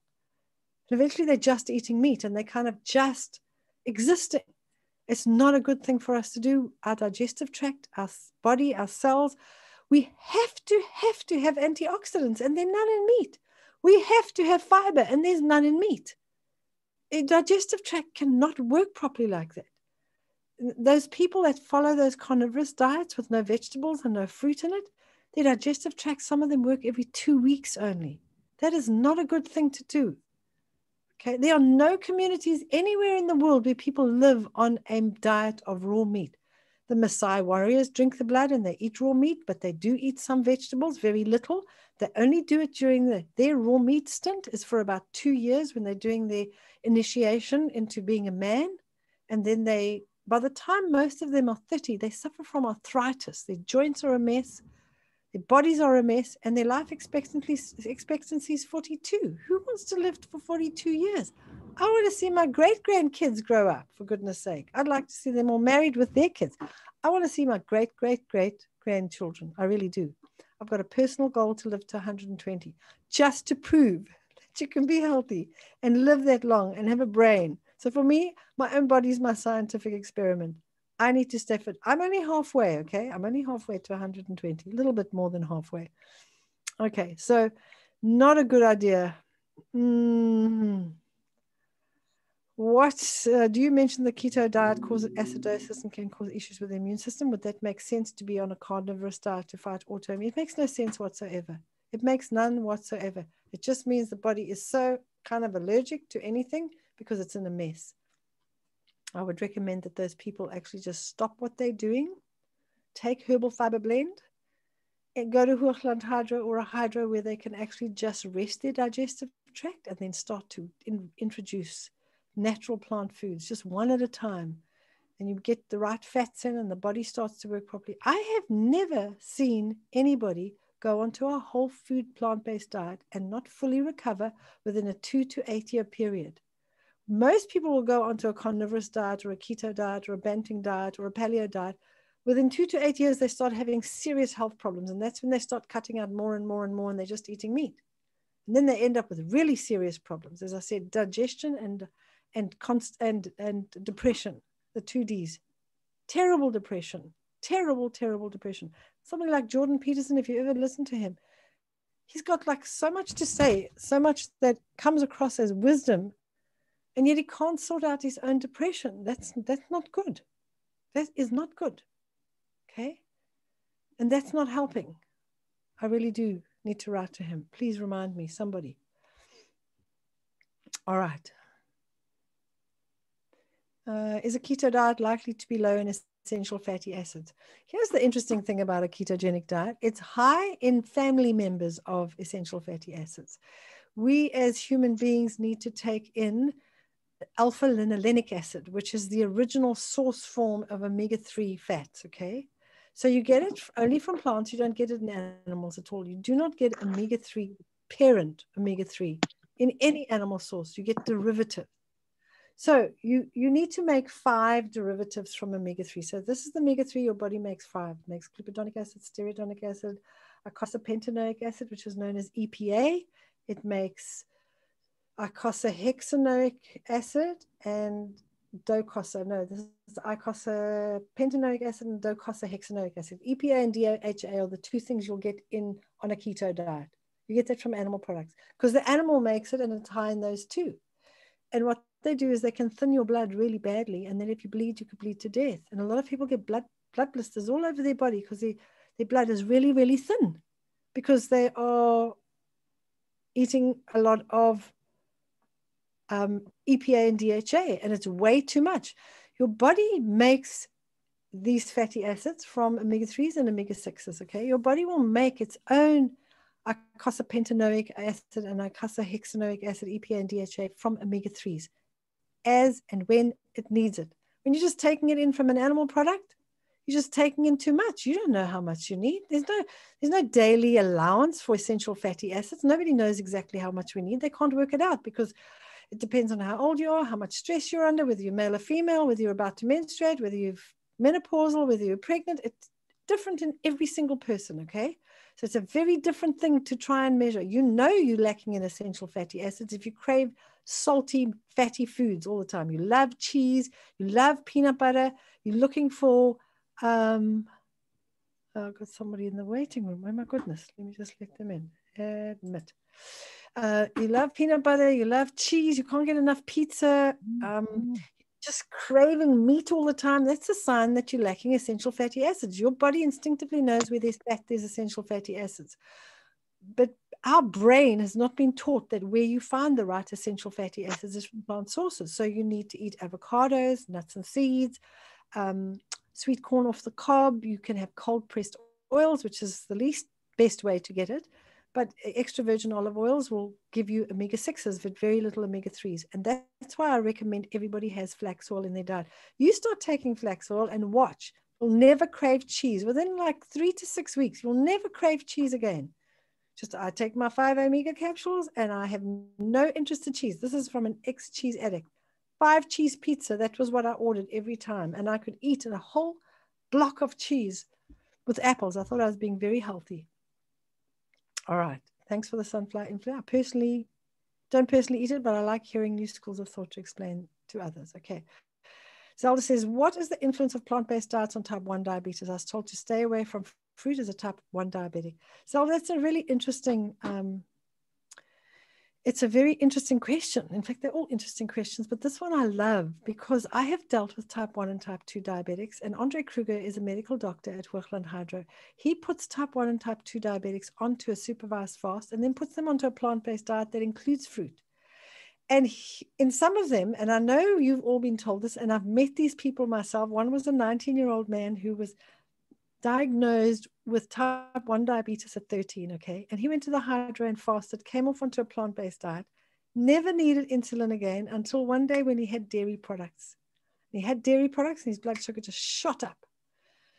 Um, and a reason for the protein in cow's milk is actually the the thing that causes the damage to the pancreas in type 1 diabetes. So, usually, if we can get a type 1 diabetic within years or they're still young, in a couple of years of being diagnosed or they're still young, very often those people can not be type 1 diabetic as long as their diet is free from animal products, particularly dairy products. Um, so, what we find is that on, on a plant based diet, anybody I've ever dealt with, type 2s, we reverse completely and the guy that's best on that talks best on this and has done the most research is Dr. Neal Barnard, also a medical doctor and a researcher who heads the Physicians Committee for Responsible Medicine. So pcrm.org. If you need these references, email info at wholeworldwell.com and Claudia will make sure that you know what it is. Okay. So PCRM.org, if you go to them, they've got the most stuff on type 2 diabetes and plant food and how the fiber in legumes are the is the best fiber, which is the very fiber they tell you on keto. You can't eat beans and legumes, mustn't eat them at all. But it's the best fiber for diabetes. Absolutely the best. It stabilizes the blood sugar so quickly. It's amazing. Okay. So uh, what we found is that with type 1 diabetics when I've dealt with them. The worst case I dealt with was a young woman in her mid 30s. She was 36. She was injecting the most insulin that you could inject over in a day. So the maximum insulin five times a day. And she was barely just stabilizing her blood sugar and not in a good place. Um, And so she changed her diet, started food combining. So diabetics are always told eat proteins and starches together to stabilize your blood sugar. But the problem with that is you produce alcohol in your stomach because the carbohydrates start to ferment. And it's one of the reasons why diabetics see an improvement when they go on a paleo or keto diet because they're not mixing proteins and starches. No more alcohol is forming in the stomach. And any diabetic knows that alcohol is the worst thing for blood sugar disorders. Okay. The worst thing. Okay. So refined sugar comes next to that. So you're making alcohol every time you're eating, you're having bacon and eggs, you're having eggs and toast, you get alcohol in the stomach. You're just not going to be able to control your blood sugar properly. And so she was on maximum. So by properly combining her food, having fruit in her diet, she was having one fruit meal a day, and eventually she was even able to eat small quantities of dried fruit. Her blood sugar stabilized so beautifully, she came down to injecting three times a day, minimum dose that's where she was. And she'd been diagnosed when she was like six years old. So for 30 years, she'd been injecting and she was on maximum dose, maximum quantities. And literally mm. within a space of two to three months, she was on minimum dose, injecting only three times a day. So without fail, I've seen it. The things that affect diabetics is refined and processed carbohydrates. They know that. But what they don't know is that dairy products is the worst thing for a diabetics because the protein in there damages the pancreas. So number one cause of juvenile diabetes is a child that's bottle fed instead of breastfed. But if the mother's drinking milk, she's passing on the protein that damages the pancreas in her breast milk. So you could be eating cheese and drinking milk and feeding your baby, and they still get diabetes. So yeah, that's a nice question. I actually had a woman that I was dealing with in Southern California, one of the group sessions I was doing, and um, I made a smoothie and put some nuts in it, and we, we actually had a live meeting, and uh, she said she couldn't have it because she was diabetic. I said, but it's got nuts in it. The nuts are high in fat and protein. It'll stabilize your blood sugar. It shouldn't be a problem. So she said, fine, I'll take my blood sugar. And her blood sugar was quite high at the time. I think it was about six and a half or seven. So she said, okay, she'll have a bit and see what it does. She wanted to see, she thought it would push it up. Half an hour later, it's going down. An hour later, it's down to four. She starts crying. I said, Why are you crying? She says, Because I've avoided fruit. My whole life, I've been told I can't eat fruit. It's bad for me. And I'd like nibble a little bit and hide away and, you know, hide it away and, and seek, you know, just secretly eat fruit every now and again. Just like take a grape and just suck on it and just revel in that flavor. And she said, and now I'm eating the smoothie, which is like the worst thing because it's got fresh apple juice in it and it's got pineapples in it and it's got um, berries in it and it's got all these things in it that I'm not supposed to be eating. Plus, as she says, the freshly extracted fruit juice. And she said it's actually brought my blood sugar down. All these years I could have been eating fruit. So I would say, as a diabetic type 1 or type 2, you can only do the test on yourself. But the information is in my book and it's on the personally coached group. It's something that we talk about as well. Um, right. Uh, is there such a thing as a plant based ketogenic diet, high plant protein and fat? Yes, there is, Candice. I've heard of people doing that. Um, and you, you can do that, but it does tend to tax the digestive tract. And one of the problems with it, you can, and it does work. We've um, several kids we've put on put onto it who've been epileptic, and it works very well. But for some people, you will find. So I say, if you are epileptic. You can. You just eat taking in olive oil, you're taking in avocados, you're having nuts and seeds, and you're not eating concentrated um, starches like brown rice and stuff like that. Lots of fresh fruit, lots of vegetables, especially the green ones, and you're having lots of nuts and seeds. So yes, you could basically do ketogenic diet that would help with epilepsy.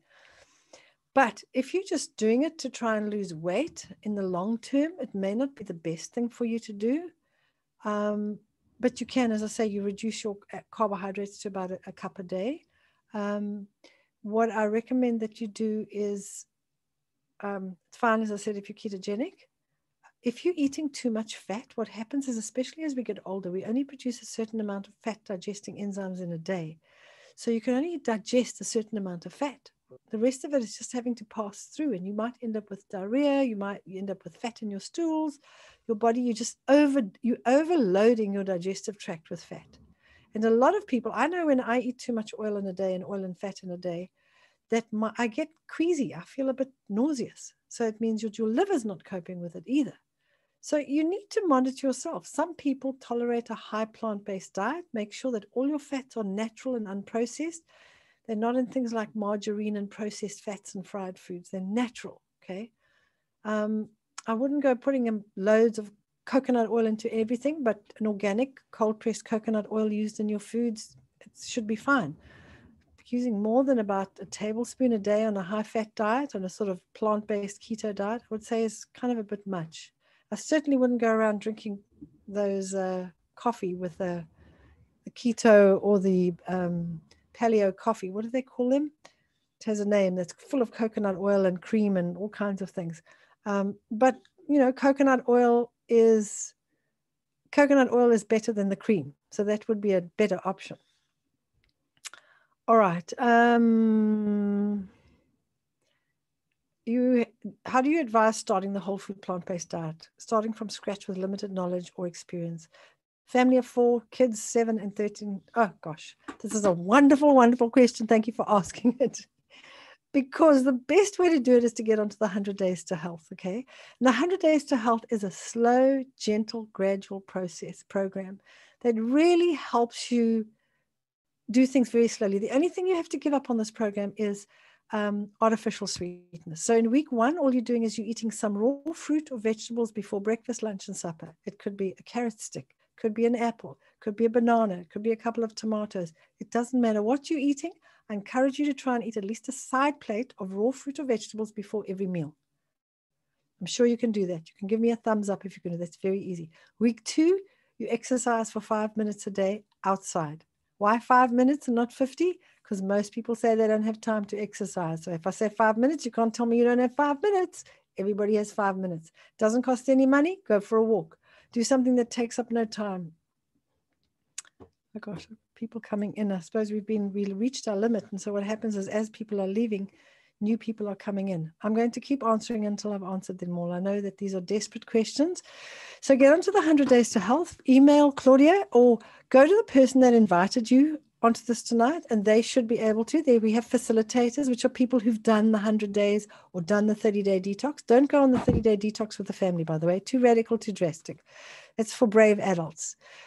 100 days to health it's gentle you learn something new every week and once a week we have a q&a and it's either myself or one of our natural health consultants who will be doing the q&a i do a personal coach group but that's really for people that have got like been on medication and they try had surgery and they just got all these weird things going on there with them nothing's working and they're just tired of the sinusitis and the bloating in their stomach and the digestive discomfort and they've gone from pillar to post. I can send you that information for that but i think for families the best one is the 100 days to health. So first go to the facilitator the person that invited you tonight. If it was via my email then go to claudia at info at whole world well and she will send you the information on how to um, join the um, the 100 Days to Health program. And Claudia will then facilitate you because she's a wonderful facilitator. She's also a qualified dietitian who doesn't follow the dietetics she was taught at university. She's dietetics does not teach you how to be healthy. It teaches you how many grams of protein and fat you need every day. Um, right. Your thoughts on supplemental collagen, please? Oh, nice question too. I love this one. Okay, we did, did a talk a little while ago. You probably found it on YouTube. I hope. I'm not sure whether it's there, but it should be there. But just to recap, collagen is gelatin. Okay, it comes from the Achilles tendon from animals, from the hooves, from the skin. It's an animal product. It's basically gelatin that's been processed one step further through a water process, finally grinded. So instead of being coarse little molecules of gelatin, it's just a fine powder. Does it slow down the aging process, you've got to be kidding. Okay. There's no ways. It's like, like it's just no way you can slow down the aging process with collagen, um, which is gelatin. Okay. The way to do it is fasting is the quickest way to slow down the aging process. Regular fasting, resting the digestive tract. You want to have a facelift, just do a nice super, go onto a raw food diet Go on to the 30 day detox, but don't have any steamed vegetables or legumes on it. Just raw food for 30 days. Facelift, okay? You want to have a further one? Do a little bit of a three day to five day fast at the end of it, and then eat a very high raw food diet. And it, it slows down the aging process tremendously.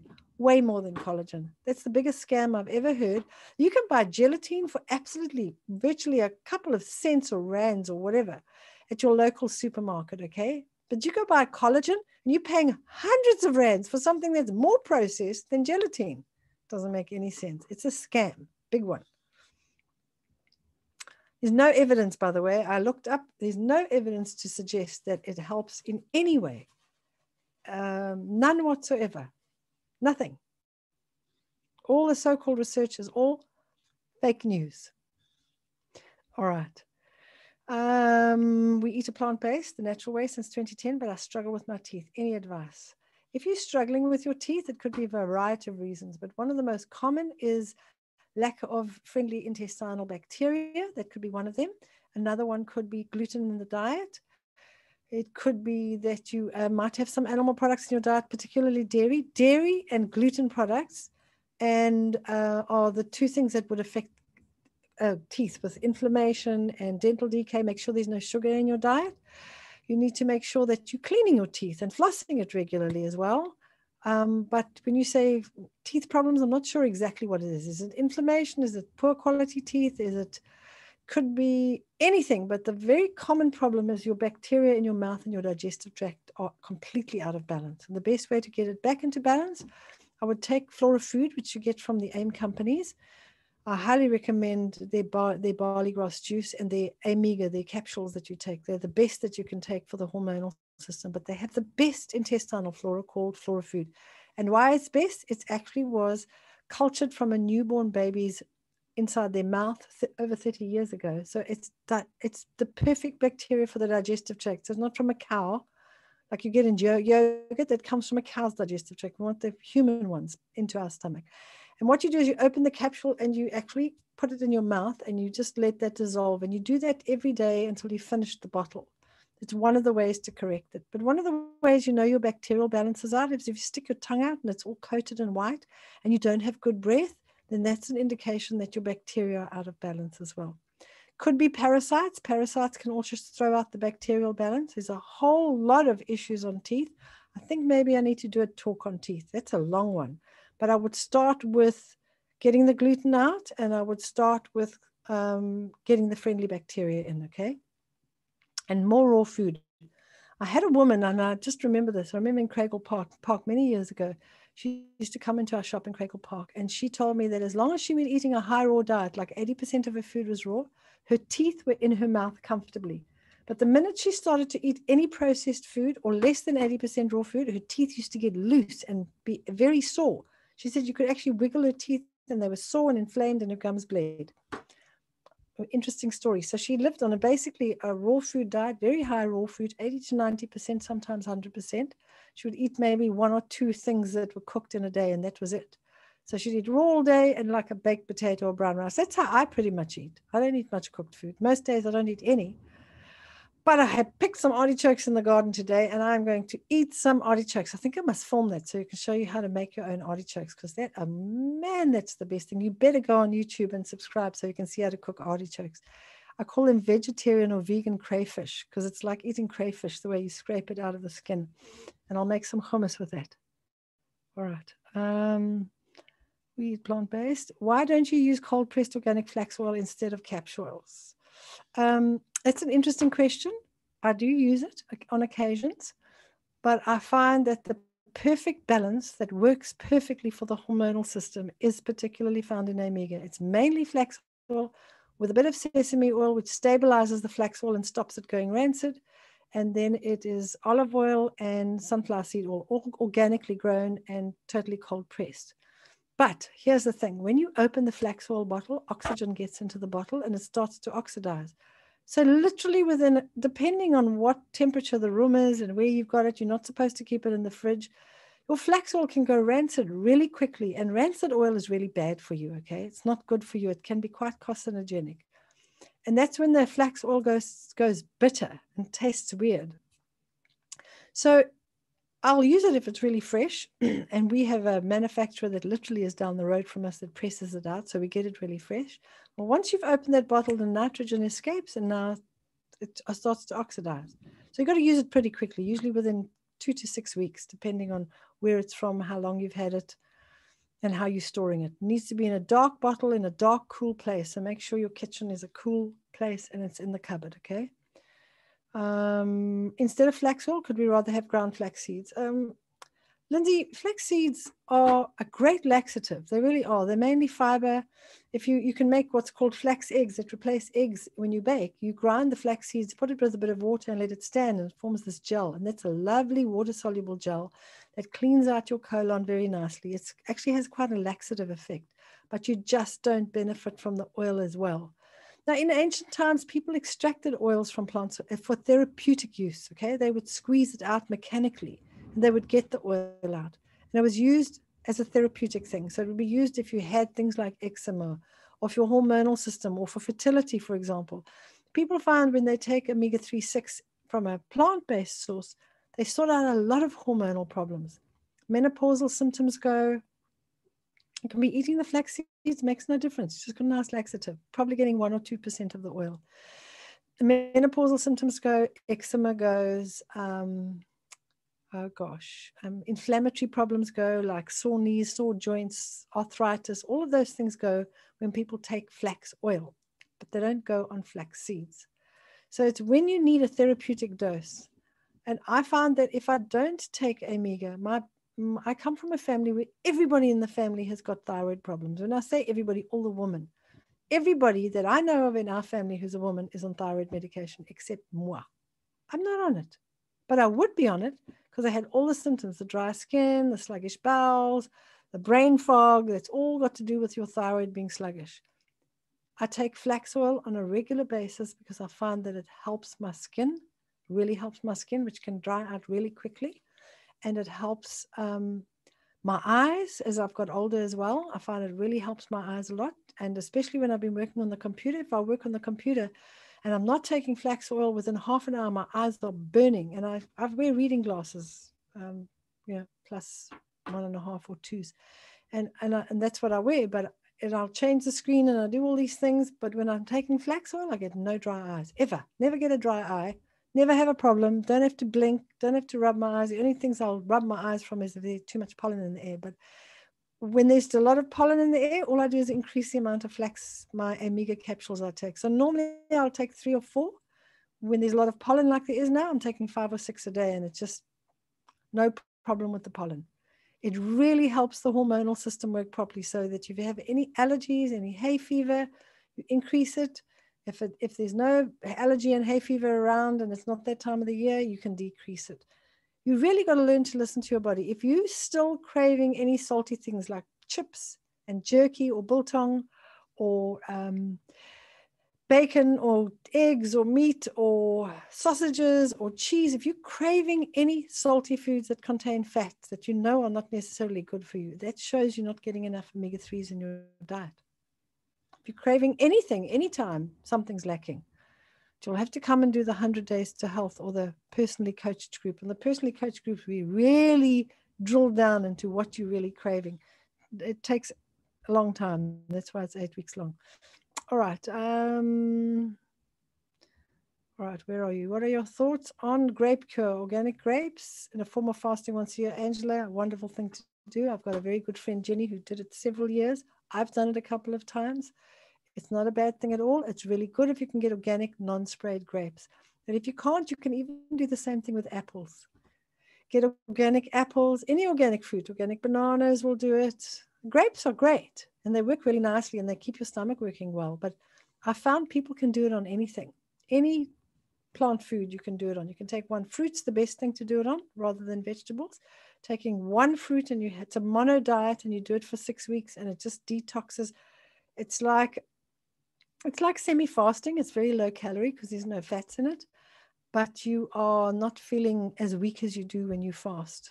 Not everybody feels weak when they fast. People with existing low blood sugar and low blood pressure will feel quite weak and dizzy fasting. People with high blood pressure and high blood sugar feel wonderful fasting.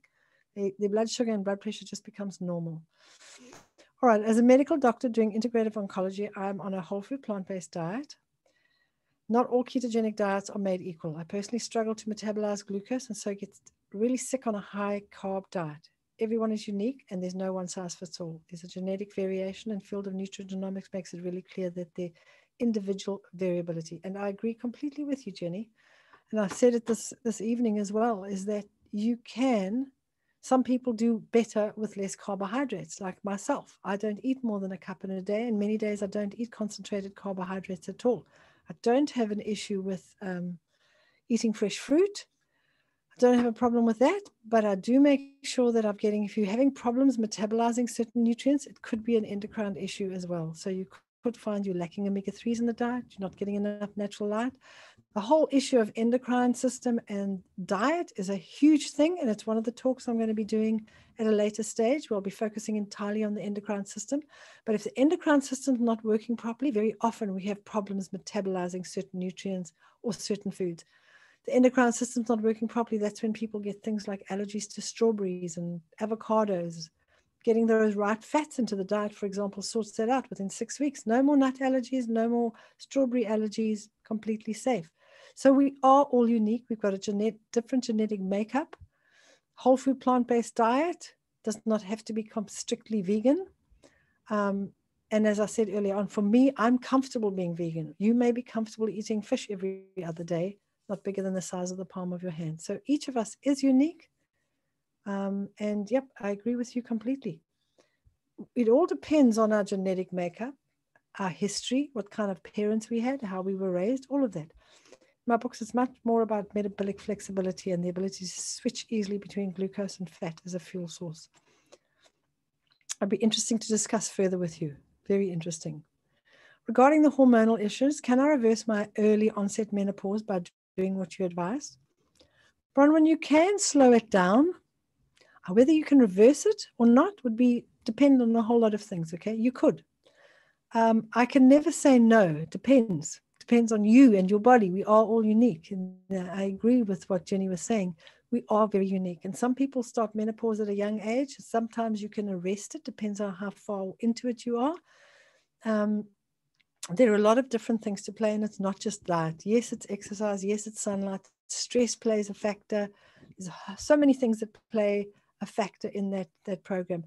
But that would be a great one to do on the personally coached group. That's the kind of problems I love dealing and stuff solving with, where we actually focus on an intense program like that. But I do recommend um, that you get my book perfect health. And in there, I do talk about the endocrine system to a certain extent and start following those pro, those um, steps in the meantime. And that'll give you time to get to a place where either I'm doing the talk or you want to do the personally coached group or the 100 days to health will help you, but not in that much detail. On the personally coached group, I go into a lot of detail into the endocrine system and how we can sort that out with our lifestyle, diet, and our choices. And it's not just, it's stress is a big factor, and that's why I deal with it in the personally coached group. Stress, emotional issues, unforgiveness. Unforgiveness can cause terrible things to your body. It's the most bizarre thing. And you see, when somebody forgives somebody, their health issues just gone. But you've got to get everything else right because it's easier to forgive when you're eating a healthy diet because you do feel calmer.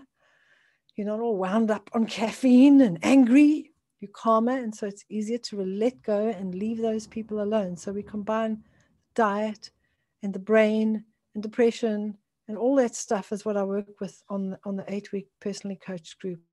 If you need to know more about that, ask Claudia at info at Whole World Well, okay? Thoughts on soy. Okay, where are we regarding the hormonal issue? Okay, what does one? Why does one get uh, palpitations when one is on the three day water fast? Because your blood sugar is low. That's what happens, and that's what happens to people whose blood sugar is usually quite stable, but tends towards the low side. When you fast, your blood sugar and blood pressure falls, and that puts like your heart's got to beat faster to kind of bring your blood sugar up, and that's what happens. It's very normal. So what you need to do is if you get heart palpitations on a fast, you just sit down and keep still and breathe deeply and not panic. So you breathe in and out. Literally, that's what you do. And you can lie down if you have to. that's why I recommend that most people, if they do more than a three day fast, they go to a hydro. And uh, I went to Hoogland Hydro in um, January, February with um, somebody else. I was helping a diabetic to fast with Dr. Andre Kruger, and I fasted as well. My blood sugar went really low, down to like three.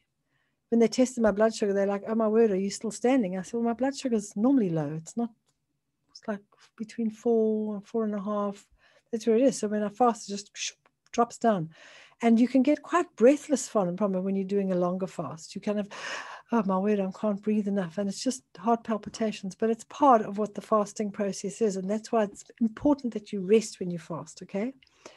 Um, thoughts on soy? Hmm, not my favorite food. I get headaches from it, but that's me. Some people do very well on tofu and miso. If you're going to use soy, it's better fermented because it's easier to digest and process. But for me, if I have soy milk, I'm like Dr. Matala at the Red Cross Children's Hospital. He published an article in P- PedMed, a pediatric journal, many years ago, probably 18 or 20 years ago. Um, and I remember him uh, um, in the research, it was all about dairy products and how the protein in dairy products, there are 25 different protein fractions, can cause um, ear infections, tonsillitis, allergic rhinitis, um, gastrointestinal bleeding, and with that, the uh, low iron levels, anemia, um, all the sort of mucous sinusitis, all of those mucus related issues. But the interesting thing is that he found in the studies and the research he's done that 40% of people who are dairy intolerant get the exact same symptoms the blocked nose, the tonsillitis, the ear infections, the sore throat from all the excess mucus. They get the same symptoms from soy, and I'm one of those people. And I never understood it. I have my malted carob, which is a hot drink with like wonderful whipped soy milk in it with a froth on top and a bit of cinnamon on top. And I'd sit there drinking it. And if I have one every day for like 10 days, I get flu symptoms. And I'm like, thick headed, sinusy, it's terrible. So I rather have almond milk, which I make myself because the bought stuff so full of junk and it's so expensive. Is, there are some plant milks that are naturally made, and um, we've got a few of them in the shop. There's gluten-free oat milks, and there's rice milk, and there's just if you are buying a bought milk, just read the label and see what's in there, and don't just drink anything. Take the more natural ones, okay? um, does it the soy question people always say oh it's going to cause high estrogen levels it doesn't do that at all there's isoflavones in soy and what they actually do is block animal proteins or block your own proteins with these phytoestrogens they actually protect you from getting breast cancer they do not cause breast cancer isoflavones are used as a way to actually help people that are prone or maybe genetically predisposed towards breast cancer or have it isoflavones are seen as a really good supplement to take. And I know they've helped a lot of people, but it's a therapeutic thing. Eating it, as I say, is another story. Some people are comfortable with it, and some people aren't. Listening to your body is the most important tool that you have. There's not one size fits all. Even if, as I said, if you're eating animal products, make sure they're organic and make sure that you are not eating anything with hormones in it, and it's not more than the size of the palm of your hand and not more than maximum once a day, preferably not more than between one and three times a week. All right. Um, you recommend sweet corn on the cob as a healthy fat food, but the fat content is low, even though the polyunsaturated, monounsaturated. Couldn't find anything about the fats in sweet corn. There is a lot of oil in sweet corn. You can have corn oil; it comes out of it. Okay, so it is known as a good source of omega sixes. Um, it's just known things. The things that we get oil out of are high in fat: olives, corn. You get corn oil, you get sunflower oil, when you your nuts and seeds, but corn is a common oil. Um, and it is high in fat for the type of food it is, but it doesn't taste very fatty. In fact, when you have it, you want to put a whole lot of vegan butter, which I, I do, or olive oil on it. But it is a source, a good source of omega 3s, not as high as your nuts and seeds. I follow a purely plant based, mostly raw for three months and got my best blood sugar reading ever. Yes, Sherry, that's in fact what happens. Mostly raw, raw, um, high plant based makes a huge difference. We see enormous results with people's blood tests when they change to a high raw diet. And it's so sad. I get sad for people that are on keto diets because you're missing out on mangoes and you're missing out on Oh my word, sweet potatoes. I know some of them allow you a sweet potato every now and again, but even a potato wrapped in foil and thrown in the fire, there is nothing nicer than that crisp skin. Oh my word, I love that. It's absolutely to miss out on stuff like that. And pizza rice with artichokes in it from short grain brown rice is too delicious to miss out on. I feel really sad for them because the foods that they're eating, are not that interesting, really. To miss out on lychees and just a crunchy apple, like if I want to eat four in a day, what's the big deal? It's so sad. And then to be constipated and depressed at the same time, that to me is the saddest part. Really, I could get depressed, but the thing is that I eat so well, I'm just happy all the time. And I used to be depressed. I was suffering from bipolar disorder, wanted to kill myself and everybody around me. If you haven't watched the video on it, you can go onto YouTube and watch Mary-Ann Shearer bipolar, and you can watch it. I think we've got about 25,000 people have watched that one. Uh, the most watched video that we've got on our YouTube channel. Um, and honestly, I'm like a new person. I've never suffered from depression since I stopped refined sugar and, and started eating fruit as my main source of glucose. Could you type out your contact email here, please? Okay, let me pop it in here. Uh, type my message here. It is info at wholeworldwell.com. Info at wholeworldwell.com. Here we go. Let me get to all these other questions. Where do you get iodine on a whole food plant based diet? You can get it from kelp. You can make plant sushi. You make your own sushi and put the kelp in. I take barley life every day, which has got some kelp in it, and I get iodine from there. Some people get it from iodized salt. I prefer my salt uniodized, and I'd rather have the kelp in the barley life. It's one of the reasons I take barley life. It's a very good source of chlorophyll, contains 22 times more usable calcium than you'd find in cow's milk. So I take it for my skeletal structure, although my diet is alkaline forming and I do resistance exercises, which is every time you push, you do resistance exercise, you're pulling muscles on the bone that actually makes your muscles stronger. I get natural light, so I'm making my own vitamin D3. And, and that keeps my cholesterol levels low naturally because sunshine converts cholesterol into vitamin D. And then you can use that to have your bones nice and healthy, okay? So where are we here? Where do you get iodine? We got that one. Did anyone get their meal? Oh, I've got it. It's not Claudia at info. It's in Claudia. You write to Claudia. Her name is Claudia. And it is info. I just posted it down there at wholeworldwell.com. Okay. If you're only having one cup of carbs per day, are you referring to one cup of fruit? No. I'm referring to one cup of I eat as much fruit as I like, but that's me. I can eat fruit all day long. My husband would rather eat one fruit meal and lots of vegetables, and he loves starches. He wants to have three potatoes, and he likes eating lots of avocados. I find them too rich for me. We're all different. So, although we eat the same foods, we eat different quantities, and he might put lots of chili on his food, and I might have a smidgen of it with lots of cumin. I love cinnamon on things. He'll have a sprinkling of cinnamon. So, yeah, for me and for most women over the age of 30, and most people, if you're prone, if you're from one of these families where you're prone to middle age spread or putting on weight, where everybody in your family, I find I do better on less carbohydrates. So, I have um, one cup for me is fine, except when I have pizza rice, then I have more. All right. Um, what do you think about these ingredients in an oil supplement? Flax oil, Inca inchi oil, borage oil, algae oil, a varied blend of plant sources, essential fatty acids, includes 800 international units of natural vitamin D, 60 international units of natural vitamin E, one milligram of pure astaxanthin, and a powerful antioxidant carotenoid harvested from microalgae. Well, the first things that would put me off is algae oil and microalgae. I don't touch anything with algae because algae grows in um, uh, stagnant water, okay? And stagnant is not flowing water. That means the water's standing. And when the water stands, it's full of bugs. You get insect body parts and all the, um, I looked at a re- report from one of the universities. I've got the report on my computer some years back. Um, 98 of the, the 98 samples that were, were tested at the laboratory at the university, all of them found traces of rat, um, rat hair, rat droppings, bird feces, bird feathers, insect body parts, um, all kinds of insect and animal things, feathers and things.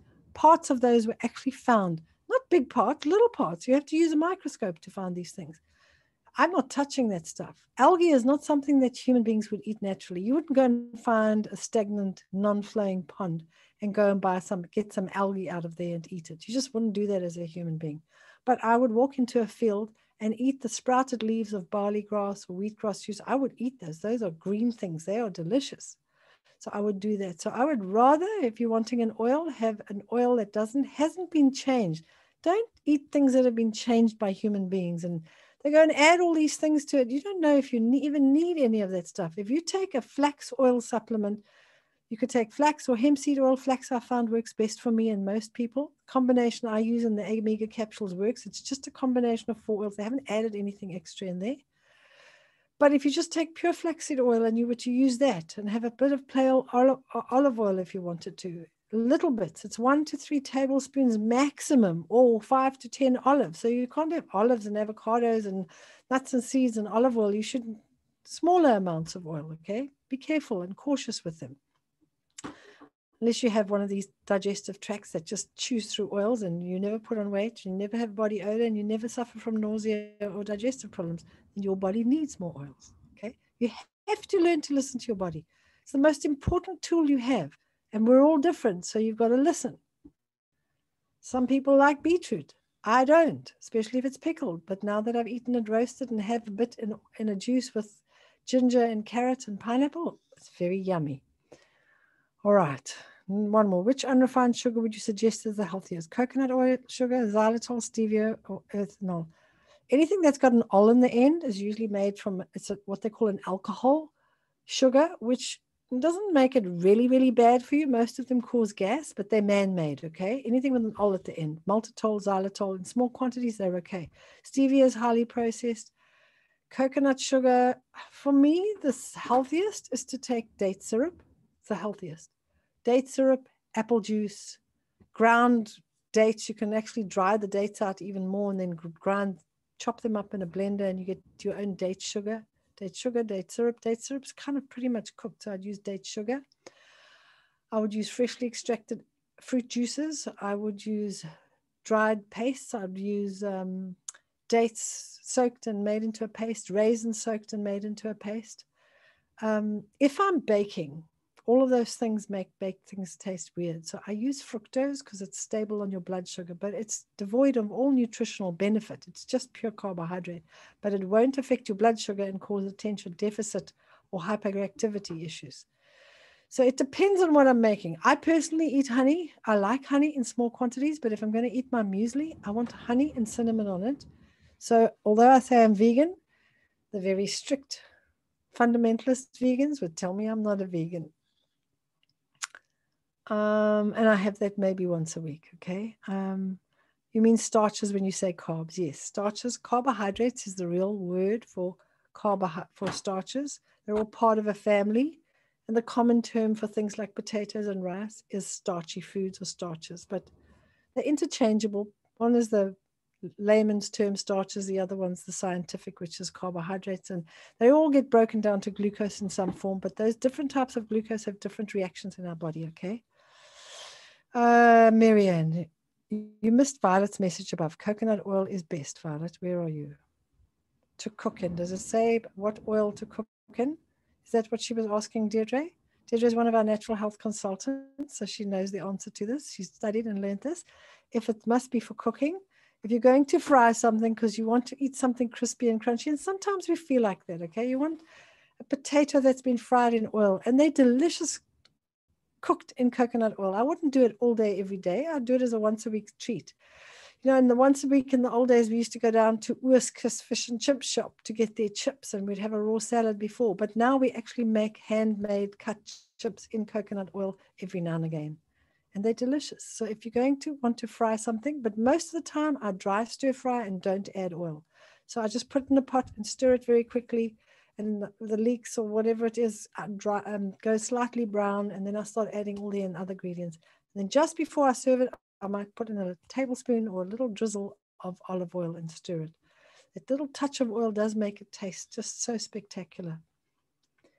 All right, is dulse leaves okay to eat? Dulse is basically a form of seaweed and they are high in iodine as well. And if you're happy to eat them, go ahead and eat them.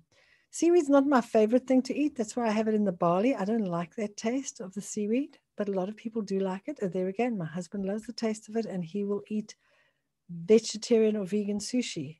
I won't. I don't like the white rice and I don't like the taste of the seaweed. So what's kind of left? The inside. Well, I'll eat the avocado and the carrots on my own. I'll make an avo dip and then have it like that. So I have unplugged sushi with no uh, seaweed and no um, white rice.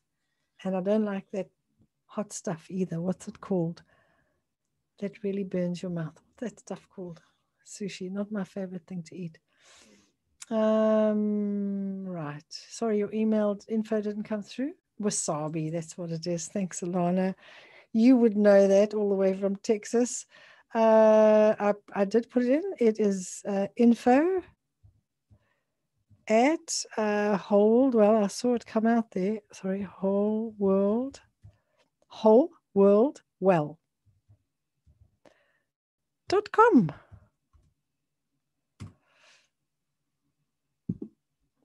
it's confusing. Carbs terminology as official definition of carbs is both sugars, example, fruit, starches, grains. Uh, carbohydrates is it's really anything. You get concentrated carbohydrates and then you get carbohydrates that are not that. But there's carbohydrate in every single plant food. There's some form of glucose in it. But when it's concentrated, that's when we call it starches. But in fact, starches and carbohydrates are interchangeable. But, you know, don't stress about it. Starches or carbohydrates, there are starchy components or carbohydrate components in all plant foods, little bits and lots of. If we process it, that's when it's bad for us. When we take all the goodness out and we make it white, I call it white man's poison. It's like years ago, the missionaries came to darkest Africa and brought with them white man's for poison, white bread, white sugar, and alcohol. Why? It's just the weirdest thing. All right. Please share your thoughts on chia seeds as opposed to flax. I wouldn't say one's better than the other. You use them differently. I love chia seed porridge. It tastes nicer. It's naturally sweet, but not too sweet. Chia seed porridge is very nice. And if you do this with flax oil, it just doesn't taste as nice. Flax seeds have got a lot more oil in them They've got a lot more fiber in them, um, sort of insoluble fiber, whereas chia seeds got a lot more solid, water soluble fiber. They're just different. Whatever you prefer. I, I love chia seed porridge when I make my own almond milk, which is a quarter cup of almonds to a liter of water. That's four cups of water, a quarter cup of almonds. And you blend them at high speed. I pour them through a fine sieve and then I let that stand and settle. And a little bit of the, the fiber of the almonds might settle to the bottom, but I use it, I put it into what I do is I warm it up, not boil it, just warm it up so it's like warm. And then I put the chia seeds into that. And I put uh, the ProPeas in it, which is protein from peas with a bit of vanilla in it. And I'll put a little bit of cinnamon in there and I'll let it just stand. Sometimes I'll put grated apple in there. Sometimes I might put grated pear in there and you mix it all up and you just let it stand and the, the chia seeds swell up and it's like it's like a porridge. It's delicious and you can eat that like a porridge and it's got absolutely that's got very little carbohydrate in it. It's very high in protein, okay? Very high in protein and it is very um, got a good source of, of fats, not easy to extract. When you soak it, it's easier to extract, but it's great source of protein, and tastes nicer than flax oil, flax seeds as well. Actually, where are we? All right. We've had a great evening. Those of you that must go, you're welcome to go. I'm going to finish off a couple of questions and then I'm going to go as well. Mary-Ann, when you sent out the email, I think you sent to a private individual and not to everybody. Just above the box where you type, you can select personal or to everyone. This is a private message just to you. Okay. Yes, I see that. Oh, so did it go private? Let me send out again. It shouldn't be. Um, where is that email address? Whole world well. No, it says to everyone up there. Got it up there, everyone. Um, so it's up there. Info at wholeworldwell.com. Thank you, Alana. She's done it again for me. But it is, it's the third one that's up. You can twerk the second time. Oh, okay, cool. Thank you. All right where are we? I have celiac disease and have been anemic for a long time. I eat a whole food plant-based diet, use AIM products, I've been taking RediBeets for a year, but still low in iron. What can I do to get my iron levels up? Thank you. Marina, there are a couple of things you can do. You're obviously gluten free, so that's very good. Um, celiac disease, you can't touch gluten. Uh, with celiac disease, very often the lining in the digestive tract is damaged, so you can have um, problems with absorbing your food sufficiently. There are a couple of things you can do. Um, it's a good idea to drink a beet juice with pineapple. So vitamin C taken with iron absorbs more efficiently than just on its own. So if you take your beet juice, you can either take your beet juice and put it in with pineapple juice freshly made, or you can take the dried beetroot juice like RediBeets and put it with pineapple juice. I what a great drink and I find fantastically is when you take the RediBeets juice and you mix it with the peak endurance. That's got vitamin B12 in it and it helps. Vitamin B12 helps with the iron absorption as well. You may not have enough intrinsic factor, which is secreted from the hydrochloric, which is secreted from the parietal cells. No, hydrochloric acid is secreted, but you need intrinsic factor for that. The thing that makes the intrinsic factor is the endocrine system. So you're going to look at endocrine health. When you look at it, the first thing you look at is don't look for something to take other than taking exercise. Exercise outdoors. It's very important that when you've got anemia that you do spend time outdoors and get natural sunlight on your skin. I'm not talking about peak midday. I'm talking about morning and uh, early morning, late afternoon. I'd say before 10, 11, depending on the time of the year, and after three or four, depending on the time of the year. You have to have sunlight. It really helps with anemia. So that's important. You've got to have exercise. Uh, you need to look at the whole hormonal health. Um, if you email Claudia, she could actually send you some information, but it is in my book, Perfect Health. If you need more than that, you could get hold of um, Claudia and she could send you some information. But it is something that we are going to cover in a lot of detail in the personally coached group that I'm running, that eight week program that I'm telling you about that starts on the 6th of 6th of January. Um, and I only take a certain amount of people I don't take more than 30. Between 15 and 30 is what I take. When I'm full, I'm full. And I do, I'm going to be doing this four times a year only. Uh, it's just not something I can do back to back. It's very intense. It takes up a lot of my time.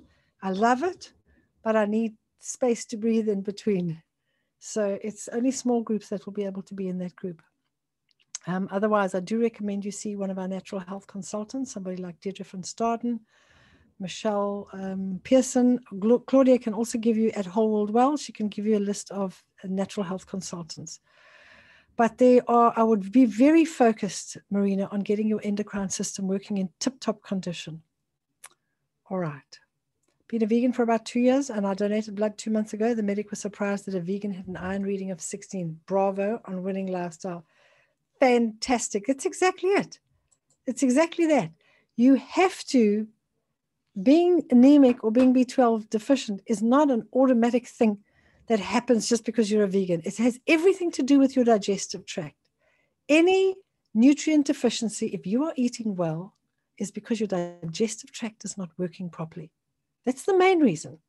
Vitamin B12, the studies show that like 90% of the people that are B12 deficient are elderly people who had previous um, stomach surgery, digestive tract surgery.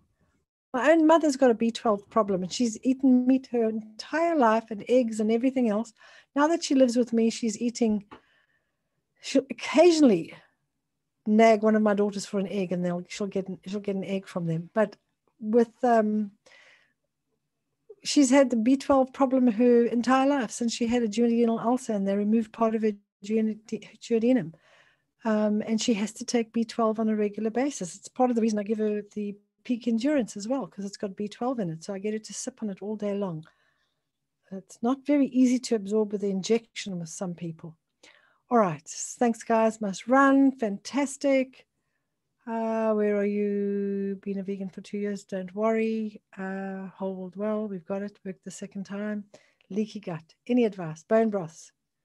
Oh, leaky gut is something that we get when we are our food is not digesting properly. We go back to the digestive tract. And one of the main reasons for leaky gut is your food is fermenting. If you mix proteins and starches at the same meal, you're going to get fermentation in the gut. Then you will get leaky gut because what happens is your food ferments and doesn't digest, and then the particles of food aren't properly broken down, and then you end up absorbing larger molecules of food, and then that just causes all kinds of strange allergic reactions to the body. Strict food combining sorts out a leaky gut. Take flora food. I've got a whole course on the digestion. In fact, the personally coached group, we're going to be discovering digestion for an entire week. It's a lot, a lot of stuff there. But in my book, Perfect Health, I would go over the digestive stuff in detail. And then if it doesn't help you enough, get hold of one of our natural health consultants uh, or get into one of the groups or do one of the courses. There's a whole lot of things open to you, but get hold of Claudia. Um, and I do have a booklet that I've written on the digestive tract. Um, the whole course I've written. I haven't quite taught that yet, but I could maybe print that and get it to you.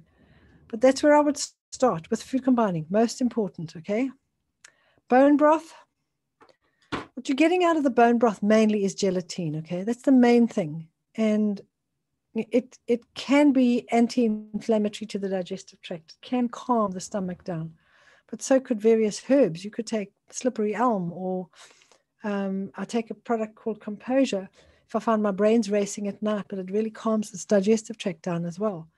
So that would do the same thing. But you are cooking the nutrients in that to death. You have to cook that bone broth for ages. And so anything else that's coming out of there other than gelatin, you're not really benefiting from. I'm about to sneeze. I'm going to just quickly mute myself. Oh, um, let me just do this quickly. I don't